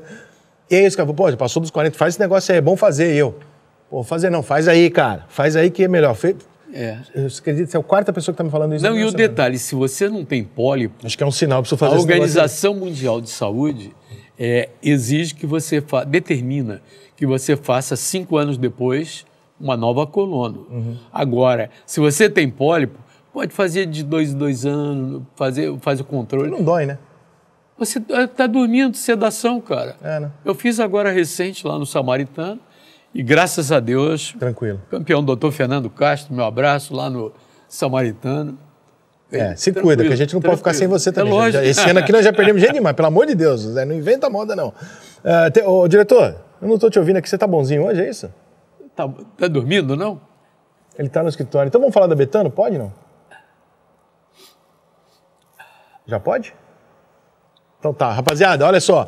Só pra gente fazer aquele nosso merchanzinho rápido. Tá aqui a Betano, primeiro link da descrição. Até o dobro do seu, até 300 reais, o dobro do seu primeiro depósito. Entra lá na Betano agora para apostar nas decisões dos estaduais. Vem aí o Brasileirão, Libertadores começando, agora o couro vai comer.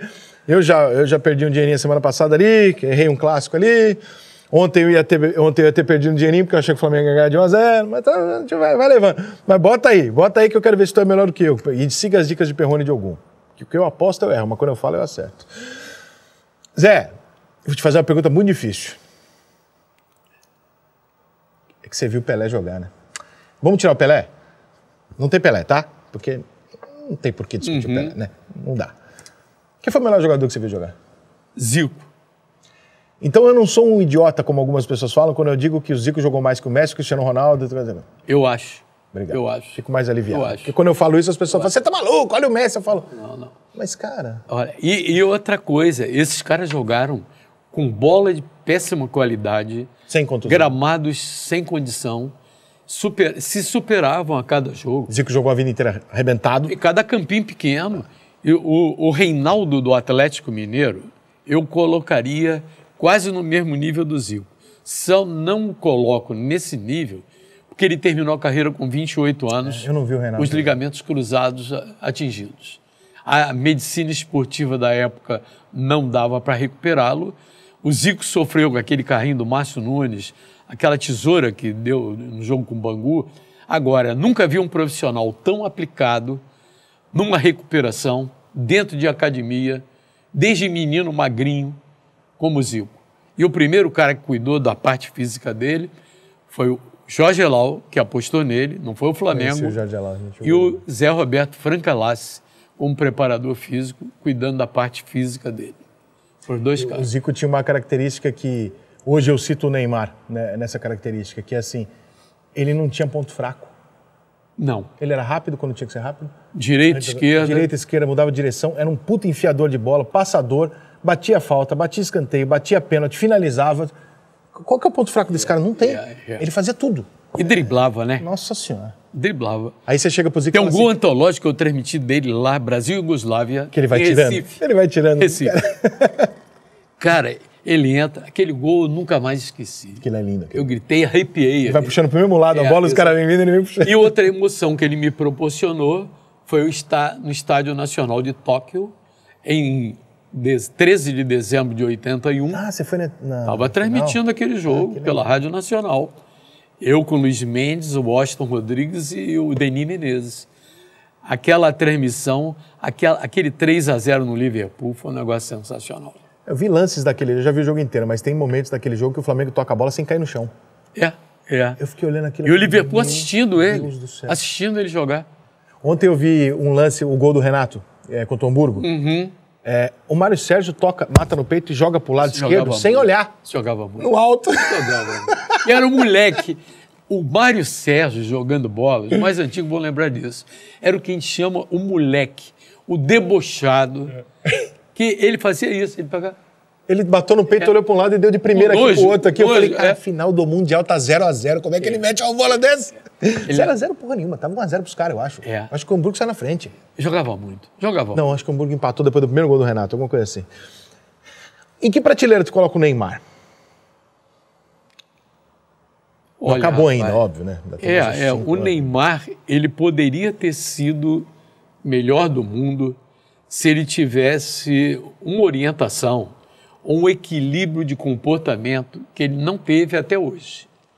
Ele chega aos 30 anos, é, não vai ser o melhor do mundo, mas Ué, o Benzema ganhou com 34. é, mas eu acho que ele mudou um pouquinho o comportamento dele. Tá mais calmo, né? É, mais, mais tranquilo e tal. Talvez falta de orientação daquele que é a referência dele, que é o pai dele.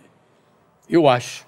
Porque, por exemplo, eh, o Zico, a referência dele era a família, era o senhor Antunes, a dona Matilde, o Nando, o Edu, eh, o Tonico, a família toda reunida. Quem é a referência do Neymar? É o pai dele. Mas é engraçado que de perto, quando eu, che... quando eu me aproximei do pai, da, não sei o quê, eu tive a impressão contrária. Eu tive a impressão que o pai dele é muito é, bom pra ele, assim, de, de Não, mas é- cuidado. Mas sabe? é- é- pode ser, porque ele hoje tem um, hoje o cuidado não é de um cara só. Ele tem um- Ele tem muita gente uma gama de profissionais. Ele tem um staff Ele tem o, o preparador físico, o Ah, tem fisioterapeuta. um escritório que cuida de tudo dele. Eu em sei, eu enorme, sei, eu enorme. sei. Porra, até é, ele está em Paris, mas ele tem preparador físico, tem fisioterapeuta, cuidando e pagando os caras, até colégio dos filhos dos Não, é profissionais. bizarro, é impressionante. Entendeu? A estrutura em volta do profissionais. Neymar é uma coisa cinematográfica. assim. Por isso que eu acho que ele poderia estar num patamar muito superior, é, equivalente a Messi, Messi, Messi e Cristiano. Cristiano Ronaldo e Messi são personalidades inteiramente diferentes. Completamente. né? É a prova que o futebol pode dar certo dos dois jeitos. É verdade. Então, E eu acho que o Neymar é o intervalo dos dois que mostra que o futebol pode dar certo de um terceiro jeito. pode. Porque Ele o é- Neymar não é o Messi, também não é o Cristiano Ronaldo. Ele tá no meio. Mas em compensação, o Neymar não tem noção de que ele poderia ser um jogador com maior rendimento se ele não fosse tão individualista. Ele apanha muito, porque ele se expõe. Ele se expõe. Ele é sujeito a contusões, lesões graves, porque ele se expõe. O Messi não. O Messi solta a bola rápido. É. Ele sem. O, o tamanho. Mas aí quando você fala isso pro Neymar, e eu já Ah. falei isso pra ele. Agora, nessa Copa do Mundo aqui, até posso contar porque já passou, mas quando o Neymar volta contra a Coreia, eu me lembro que eu tava conversando com ele no, no Instagram, no direct, eu falei assim, Ney, é, solta a bola. Porque agora todo mundo sabe qual é o teu tornozelo machucado. E você sabe que a Coreia não vai bater porque eles são leais. Mas o próximo, né? nas É quartas de final. Da faz O rodízio. zagueiro da Croácia sabe exatamente É, onde te bater é, é. solta esta merda rápido. Mesmo que você não. Mesmo que, eu sei que ele chegou até lá jogando desse jeito. Então eu entendo o argumento dele. de- Uhum. Eu cheguei aqui fazendo isso. Eu espero até o último segundo para dar o passe. E esse é um diferencial dele. Mas naquele momento ali, E aquele gol que ele Eu- fez contra a Croácia porra, foi ele ia sair herói dali, cara. Se recuperou da contusão. É verdade. Aí aqueles quatro minutos desgraçado de merda que o Brasil. É. Zé, é a quarta Copa do Mundo. Tirando 2014, que foi uma tragédia. Zé, a gente não tinha que ter perdido para a Holanda em 2010. A gente era melhor. A gente foi melhor o jogo inteiro. Aí o Felipe Melo bate uma bola, o Júlio César. Acontece uma tragédia. A gente perde o jogo. 2018, a gente foi melhor que a Bélgica. Muito melhor. 2020, a gente é melhor do que a Croácia. É, é. O que, que tá acontecendo, gente? Por que, que a porra da bola não entra para nós, cara? Mas sabe o que, que eu acho? Eu acho que o- nós nunca, essa, essas decepções que a gente teve, a gente nunca viu, por exemplo, teve um treinador que dissesse assim: eu vou mudar taticamente esse jogo aqui. Não. Eu convivi com Zagallo, É, Parreira, dúzia. Tim, Martim Francisco. Treinadores que eu considero, considerei os melhores que eu vi mexendo num jogo. Não bota o Vanderlei no meio, não? O Vanderlei é considerado. Eu não convivi com o Vanderlei como treinador. Eu acho que o comportamento do Vanderlei, o temperamento dele, desgastou ele como profissional, como treinador. Mas ele é considerado pelos boleiros, Os boleiros o melhor de todos. o melhor treinador de todos. É, é por isso que eu, por isso que eu sempre É, boto pra cara, se ele é todos eles falam que ele é o melhor de todos. Para mexer, num, mudar um esquema de jogo, eu nunca vi isso. Uma vez o João Avelange me falou, eu acho que o João Avelange foi dos maiores executivos do futebol do mundo. Ah, sim. Ele foi. Eu, eu não concordo, por exemplo, com o Eduardo Paes em tirar o nome do estádio Olímpico João Avelange para botar o Newton Santos, que foi meu amigo. Newton foi o meu amigo que já tem estádio aí, Mané Garrincha tem estádio. Porque o que o Avelange fez pelo futebol do Brasil e o futebol mundial é o que ninguém vai conseguir fazer. E o Avelange uma vez me falou assim: eu estou muito preocupado com os treinadores brasileiros. Eu digo, mas por quê? Eu promovo congressos de futebol no mundo inteiro e você não vê ex-jogador, treinador do Brasil se apresentar e querer conhecer alguma coisa nova. Porque ele acha que jogou futebol, ele já sabe tudo de bola.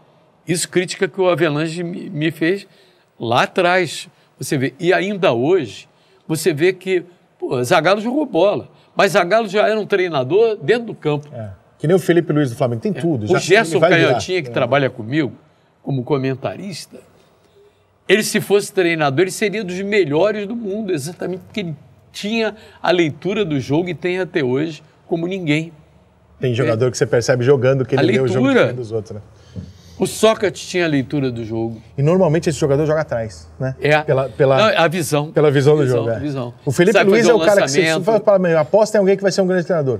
Felipe Luiz. Felipe Luiz. O Diego Ribas, eu, eu acho também. Acho que pode ser também. Pode ser. Pode, dar treinador. Inclusive, os dois são muito amigos. Eu gosto muito dos É. É, os dois são pode muito dar amigos, bom treinador. deles. É um cara esclarecido, articulado e, e sabe fazer amizade com os jogadores. Sabe explicar, sabe passar É. as coisas e tal. Você tem alguma grande frustração na tua carreira? Não ter transmitido mais, Copa, eh, mais títulos mundiais do futebol brasileiro. Você transmitiu quase todos. Não, eu transmiti em 94, 2002, 70 você não estava trabalhando? 70. Vou contar um detalhe. Eu fui em 70 fazer o sorteio dos grupos da Copa no Hotel Maria Isabel, eh, no Passeio da Reforma, na Cidade do México. Eu e Luiz Mendes. Transmiti o sorteio. Aí eu vou à Copa do Mundo, 70. Só que a Embratel, não tinha canal para todas as emissoras de rádio. Então teve que fazer pool, tipo assim, a Rádio Globo, onde eu estava, eh, fez canal com a mesmo canal com a Rádio Nacional e com a Rádio eh, Gaúcha de Porto Alegre. Então eram três emissoras. Cada uma levou um grupinho pequeno. Eu sobrei, fiquei na coordenação na retaguarda. Puta. Então eu não fui na Copa de 70. Aí o Valdir, não, você vai ser meu coordenador e tal. Eu coordenei a transmissão. Qual foi a primeira que você narrou? 74 na Alemanha. Transmiti todos os 78 jogos. você tava. 78 eu tava. Foi roubado, né? Foi. Aquela ali foi uma Copa Não dá armada. pra engolir, né? Armada. Não dá pra Armada. engolir aquilo ali, né? Armada pra Argentina. Ah, tranquilamente. Pô, depois daquela goleada no Peru. Puta sacanagem, cara. E, a- e a- era nossa, né? O título era nosso, Mas, né? meu amigo, quando a seleção peruana voltou a Lima, qual foi a reação do povo no, no aeroporto? Jogar moedinha em cima dos jogadores, cara. Foi assim. Então, eu fico puto quando um brasileiro torce pra seleção da Argentina. Eu falo, os caras roubaram a gente. roubaram aí. Os caras doparam o nosso jogador em 90 pra eliminar a gente na Copa do Mundo. E vocês torcem pra esses caras. Eu falo, não é possível isso, cara. São nossos E vou te rivais, contar o lance. Eu estava em Mendoza no dia daquela goleada da Argentina sobre o Peru. Aí, é, Mendoza, quando está ao, ao pé da cordilheira, as calçadas têm um valão para poder correr a água do derretimento da geleira, né? E Mendoza, pô, logicamente, pô, terminou o jogo, eu fui pra rua, pra- eu e o Apolinho e tal. Cheio de vinho, né? Todo Lá, agasalhado. de- Não, ia atrás de. Não, tava cheio de vinho, já tinha Lá, acabado. lá é, pô, lá é terra do vinho. Já acabado, é. Mal- O Malbec mais famoso É, do mundo é. Mendoza é pra ir pro vinho. Eu caí dentro do valão, de, fraturei uma costela. Do- Mentira. juro. Mas como... co- É, tive fissura de costela. Gente. Doía que eu não conseguia nem tossir, nem espirrar. O doutor Lígio Toledo, saudoso, médico da seleção, cuidou de mim. Eu transmiti o jogo seguinte numa boa. Continuei lá sem estar imobilizado, sem nada.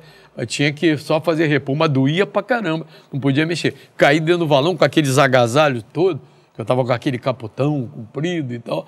Porque o povo todo na rua, eu não vi o valão. E eu já com algum vinho na curva. Claro, ué. É. Por que não? É, né? de noite. Eu acho aquela Copa lá... A frustração maior foi exatamente não transmitir mais títulos mundiais. Mas calma que você vai transmitir a próxima Se Deus quiser. Se Deus quiser. Né? Vai ser uma Copa difícil, muito cara. Copa. Vem cá, me ajuda numa campanha aqui. Ah, eu vou mandar esse corte direto pra ele.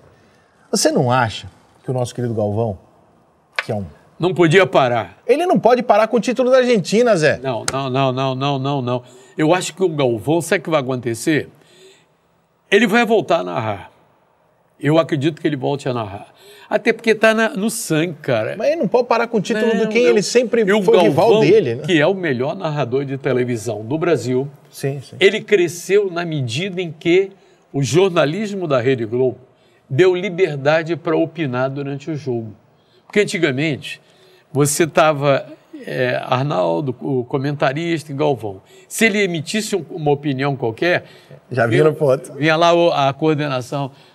Ah, se limita, eu me lembro que o velho Armando, meu amigo, foi meu chefe, Armando Nogueira, grande mestre, ele chegava e orientava. Ah, faz a tua aí. O Galvão falou que no dia que o Berger... Você gosta de Fórmula 1? Aham. Você gosta de Fórmula 1? Eu, acompanho, eu- eu acompanhei transmitir quando era Fittipaldi e Zé Carlos Patti.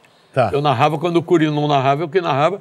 E o velho Barão, é, com, com o Pedro Luiz, transmitindo lá pe- por São Paulo. O, o Galvão virou o cara do, da era Senna Piquet. É o Galvão. É né? verdade. E até do Barrichello, o Felipe, é o, É verdade. o Galvão também. É, o, o- o Berger, o Senna deixa o Berger passar na última curva de uma corrida no Japão, que o Senna já era campeão mundial. Uhum. Quando ele faz aquilo, o Galvão narra gritando: Eu sabia, eu sabia, porque ele era muito amigo do, do Senna. Diz que no dia seguinte tinha um memorando na mesa dele: Você sabia por que não falou? Tipo, não opina, né? Mas é, é, vinha da caixa de sapato lá, a orientação da central, só narra. Passa para Arnaldo opinar, passa para fulano opinar, o comentarista opinar. Era o Noronha, em um determinado momento. Ó. Seu Eu, tô, eu fiquei, quando a Argentina ganhou o título, eu fiquei puto. Eu falei, o, o, o Cacá Bueno estava comigo, eu- o filho dele, eu falei assim, ô Cacá, olha só, conversa lá com teu pai. Teu pai não pode ter a última transmissão Cacá é dele, título da tricolor, Argentina. Cacá é tricolor. demais, nossa chato, tricolor chato. É. Agora, eu acho que o Galvão volta a narrar. Tem que narrar, Até tem que encerrar o- com o título brasileiro. Você lembra quando o Galvão saiu da TV Globo? Foi pra Rede OM Brasil. Foi meu sócio. Eu ficava no Rio e ele em Curitiba. Você Ele fez a OM aqui. É. A Eu gente sabia que tinha aqui. Te- Teve aqui, é a CNT de hoje. Ah, é? O, o Galvão deu a sorte pro São É. Paulo. Ele tá, narrou o título da Libertadores. Mas a- o público exigiu que ele voltasse para a Fórmula 1 até para renovar contratos e tudo mais. Foi interesse comercial. E vai acontecer. O futebol com o Galvão tem um valor. Futebol sem um Galvão tem outro. É carismático, é, tem opinião própria e não tem medo de expor essa opinião. Esse é o Eu valor também- maior. Eu acho que o Galvão tá, tá, tá saudável demais para a ideia É dele. verdade, parar. é verdade. O Galvão tá É verdade. extremamente lúcido, brincalhão. O Galvão é um playboy, né? Vive curtindo, É, é, é. vinho, barco, ele gosta, né? e aí você olha para esse cara e fala, esse cara não pode parar, esse cara não tá no final, não. Pô, tudo bem, ele tá de saco cheio, tudo bem. Mas, porra, mais uma copinha aí, Galvão. Galvão, olha o meu exemplo. Eu não vou parar Aí. enquanto o chefe lá de cima não, não me der aviso prévio. Não. me deu ainda e não deu para você. Porra, mais uma copinha. É. Aliás, não, não te deu não, peraí, porque você e o Galvão, em final de Libertadores, deram susto em todo mundo. O Galvão infartou na final de Libertadores da- do Flamengo e River Plate, e na final Flamengo e Palmeiras foi você que deu um susto. dei- Conta essa história do Olha, médico, que é maravilhoso. O médico estava com você. Na véspera de viajar para Montevidéu para fazer Flamengo e Palmeiras, aquele que o Palmeiras ganhou do Flamengo na prorrogação, é, o doutor Daniel Rabchovski, meu cardiologista, falou assim: Zé, os exames aqui mostram que você tem 75% de obstrução numa artéria e você não vai viajar. Aí eu digo assim: mas como? Não, não vai viajar, cara, está correndo risco. Eu digo assim, cara, eu estou com passagem comprada, dinheiro no bolso, eu vou viajar, não vou ficar fora de uma decisão da Libertadores. Aí ele disse assim, então vamos fazer o seguinte, vamos dividir a responsabilidade. Você vai? Vai. Então, olha aqui, o telefone do César Medeiros, é o cara que vai fazer o cateterismo em você, se precisar vai botar um stent. É, o telefone dele, ele é rubro-negro, ele está no estádio centenário Olha o esquema. telefone dele. Ele tá com o teu telefone. A gente trocou figurinha. Resultado, não aconteceu nada. Eu virei à noite, eu voltei num voo, é, aqueles voos fretados um atrás do outro. O meu era de carreira. Só saiu três da manhã de lá, depois do jogo. Eu saí do jogo, fui pro hotel, tomei um banho, jantei, comi alguma coisa, tomei um vinhozinho e fui pro aeroporto. Era uma massa violenta no aeroporto. Voltei, cheguei um domingo aqui, acho que à tarde, na hora do almoço. Na segunda-feira, às sete e meia da manhã, estava dando entrada no hospital para fazer o cateterismo, botei um estente. Pô, feliz da O vida. Flamengo não vai mais para a final da Libertadores, porque toda vez que você vai, você bota em risco uma lenda do jornalismo brasileiro. É, é? Então vamos parar com isso daí, gente. Pelo amor de Deus. É, todo, todo torcedor tem um gol seu favorito. Mas e o teu gol favorito?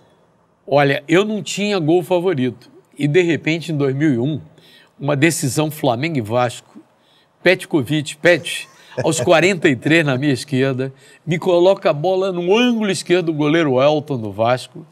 E, de repente, eu peguei um táxi no aeroporto de Santos Dumont, domingo à noite, vindo de São Paulo, e vinha para Glória para pegar meu carro lá na Globo. Aí, de repente, toca o telefone celular do taxista.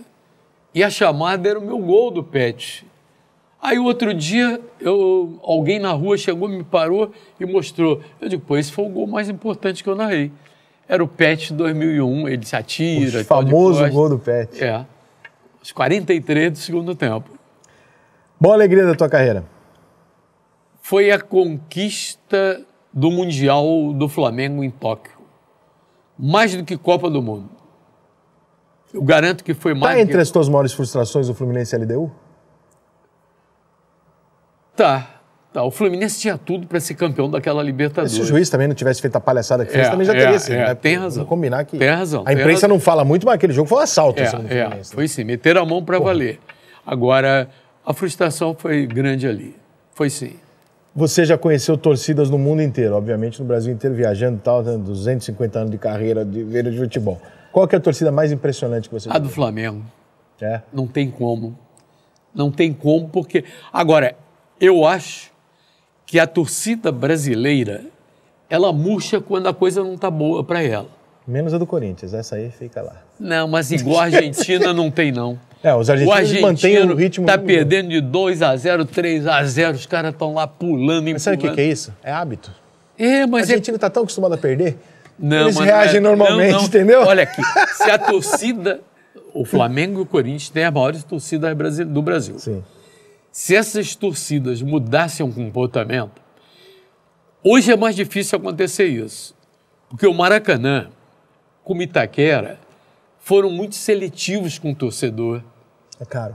Hoje, aquele cara do, da sandália havaiana, que não tinha grana para ter outro lazer no domingo, ele não tem como ir ao futebol. Nossa, 80 pau, 60 pau não É, dá. não, tem como ir. O cara tem Então, dois filhos, como é que aquele ele faz? cara que está no estádio hoje, ele se assusta. Não é aquele cara fanático de antigamente, da Acho geral. que, não acho que tinha que ter um setor obrigatório. Eu acho que se eu fosse presidente da CBF seria uma das coisas que eu. Maracanã, Tem que ter um atrás, setor. atrás do gol. É em isso. Pé, Ó, em pé. Todo estádio tem que ter É. 10, 20%, sei lá eu, É. ingressos a 20 Eu reais. concordo, eu concordo. Isso é regra do campeonato. Por quê? Porque o filho desse cara mais humilde, ele vai torcer pro Chelsea, Zé. É. Porque Não, e hoje você jogo. vê a garotada.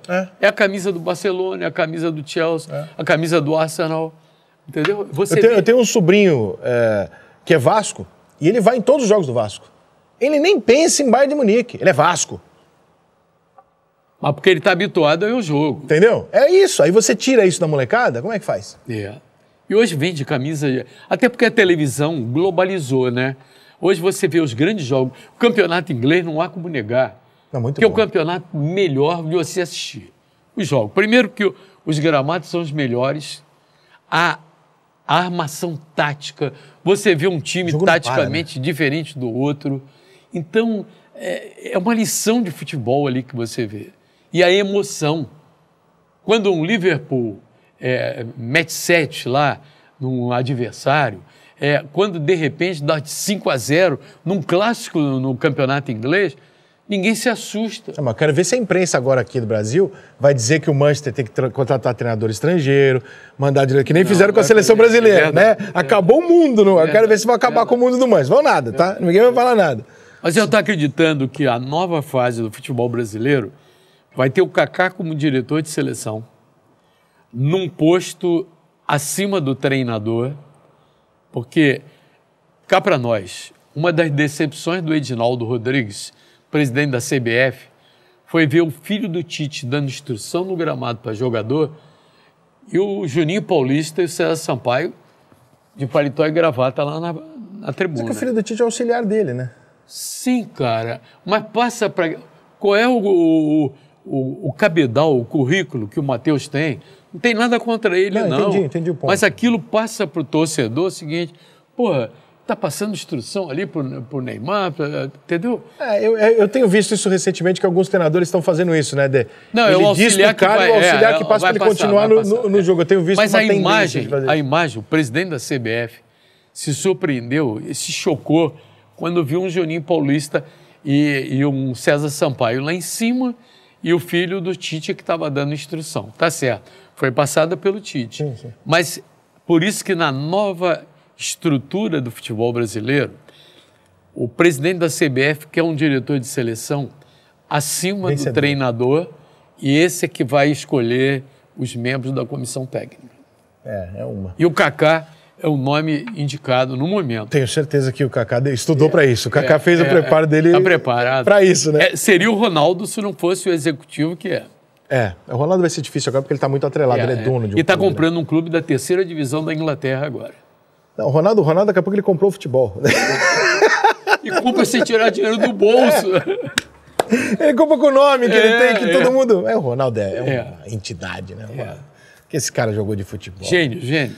Zé- A explosão muscular do Ronaldo é outra fenomenal, como foi a do Pelé. Diz o Ronaldo que o apelido dele de fenômeno não é por causa do futebol. Por causa da musculatura. Não. Ah, Diz bom. ele. Eu acho que é mentira dele, mas ele fala isso. Aí ele vai dizer, pergunta às mulheres. É, diz ele, diz ele isso aí. Mas eu acho que é caô do Ronaldo. É, eu acho que é do Ronaldo. Melhor comentarista que trabalhou do seu lado? Não O- desmerecendo os outros. O Washington Rodrigues, Apolinho. O gênio, o homem que inventou mais É. bordão junto com Aliás, vocês É. dois, pelo amor de Deus. Não, né? mas o, o Apolinho aconteceu o seguinte: terminou a Copa de 78 na Argentina. A gente pegou um táxi de, do Monumental de Nunes para Ezeiza, aeroporto, para a gente voltar para o Brasil. Aí eu falei, ele era repórter junto com o Denis Menezes. Eu falei para o velho Apolo assim: Apolinho, que tal você passar a ser comentarista? Saldanha está parando já está devagar, quase parando e tal. Você vai ter esse caminho pela frente, você é diferenciado. E eu, fui, eu o lancei como comentarista na Rádio Nacional Acertou em cheio. e ele cresceu em cheio. E é para mim um cara que tem, sem, ter, se- sem ter jogado futebol profissionalmente, ele foi jogar craque do futebol de salão. Era back parado aí no futsal antigo, futebol de salão antigo. O Apolinho consegue se comunicar e fazer a leitura do jogo com uma facilidade incrível, Incrível. até hoje. Vai fazer 87 anos e tem a mesma lucidez que tinha 40 anos atrás. A gente quase trouxe ele aqui, mas aí veio a Covid. E aí, evidentemente, tivemos um cuidado, né, e tal. Mas agora ele tá para estamos para trazer o Paulinho aqui, que é um ídolo. E por falar em ídolo, a última pergunta que eu tenho para te fazer. Você, quem que você queria ter trabalhado nessa longa carreira e você não trabalhou junto? Quem eu gostaria de ter trabalhado e não trabalhei? Boni. Com José Boni? Bonifácio O pai ou Oliveira filho? Sobrinho. O pai. O pai. Eu conheci Boninho recentemente tal. Eu acho que o Boni foi o maior gênio eh, da comunicação brasileira. Eu gostaria de ter convivido com o Boni profissionalmente. Eu Belo teria nome. aprendido muito mais do que aprendi com meus mestres. Belo nome. Gente, que honra que foi bater Pô. esse papo com o Zé Carlos Araújo. Você, Minha olha, gratidão. Você sabe que quando é, a gente já tentou quatro vezes aí É. marcar, alinhar e tal, e, e não, não alinhava a agenda. Aí disseram para mim assim: o quê? Você vai no Rico Aperrone? Cuidado que ele faz umas perguntas.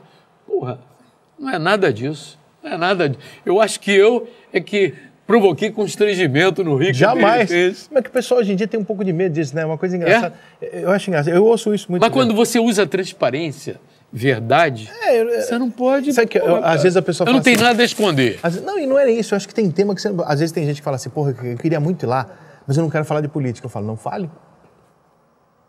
E se o assunto surgir, eu falo, diga.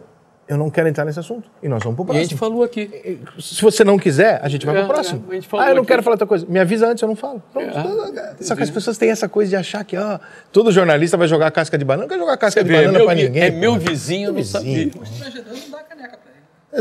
Como é que eu posso esquecer de dar a caneca? Meu Deus do céu, a caneca do cara tapa. Cara tapa, Porra, pô, pra legal, você lembrar cara. que veio aqui no programa. Obrigado, Como é que obrigado. eu posso me esquecer disso? Vamos jogar um futebol essa semana ali, né? Já que você tá mais em forma do que eu. A gente é vizinho. Não, eu, tenho, eu tenho condicionamento físico, sim. Então eu não. Você Não. vai ganhar de mim. Eu te convido então para uma caminhada na areia fofa. Gente, então eu tô me despedindo de vocês, não desse episódio, mas da vida, porque o Zé Carlos Araújo quer me matar na praia da Barra da Tijuca. Estúdio Center, obrigado pela estrutura, deixe seu like, deixe, se inscreva no canal, muito obrigado, até a próxima. Tchau.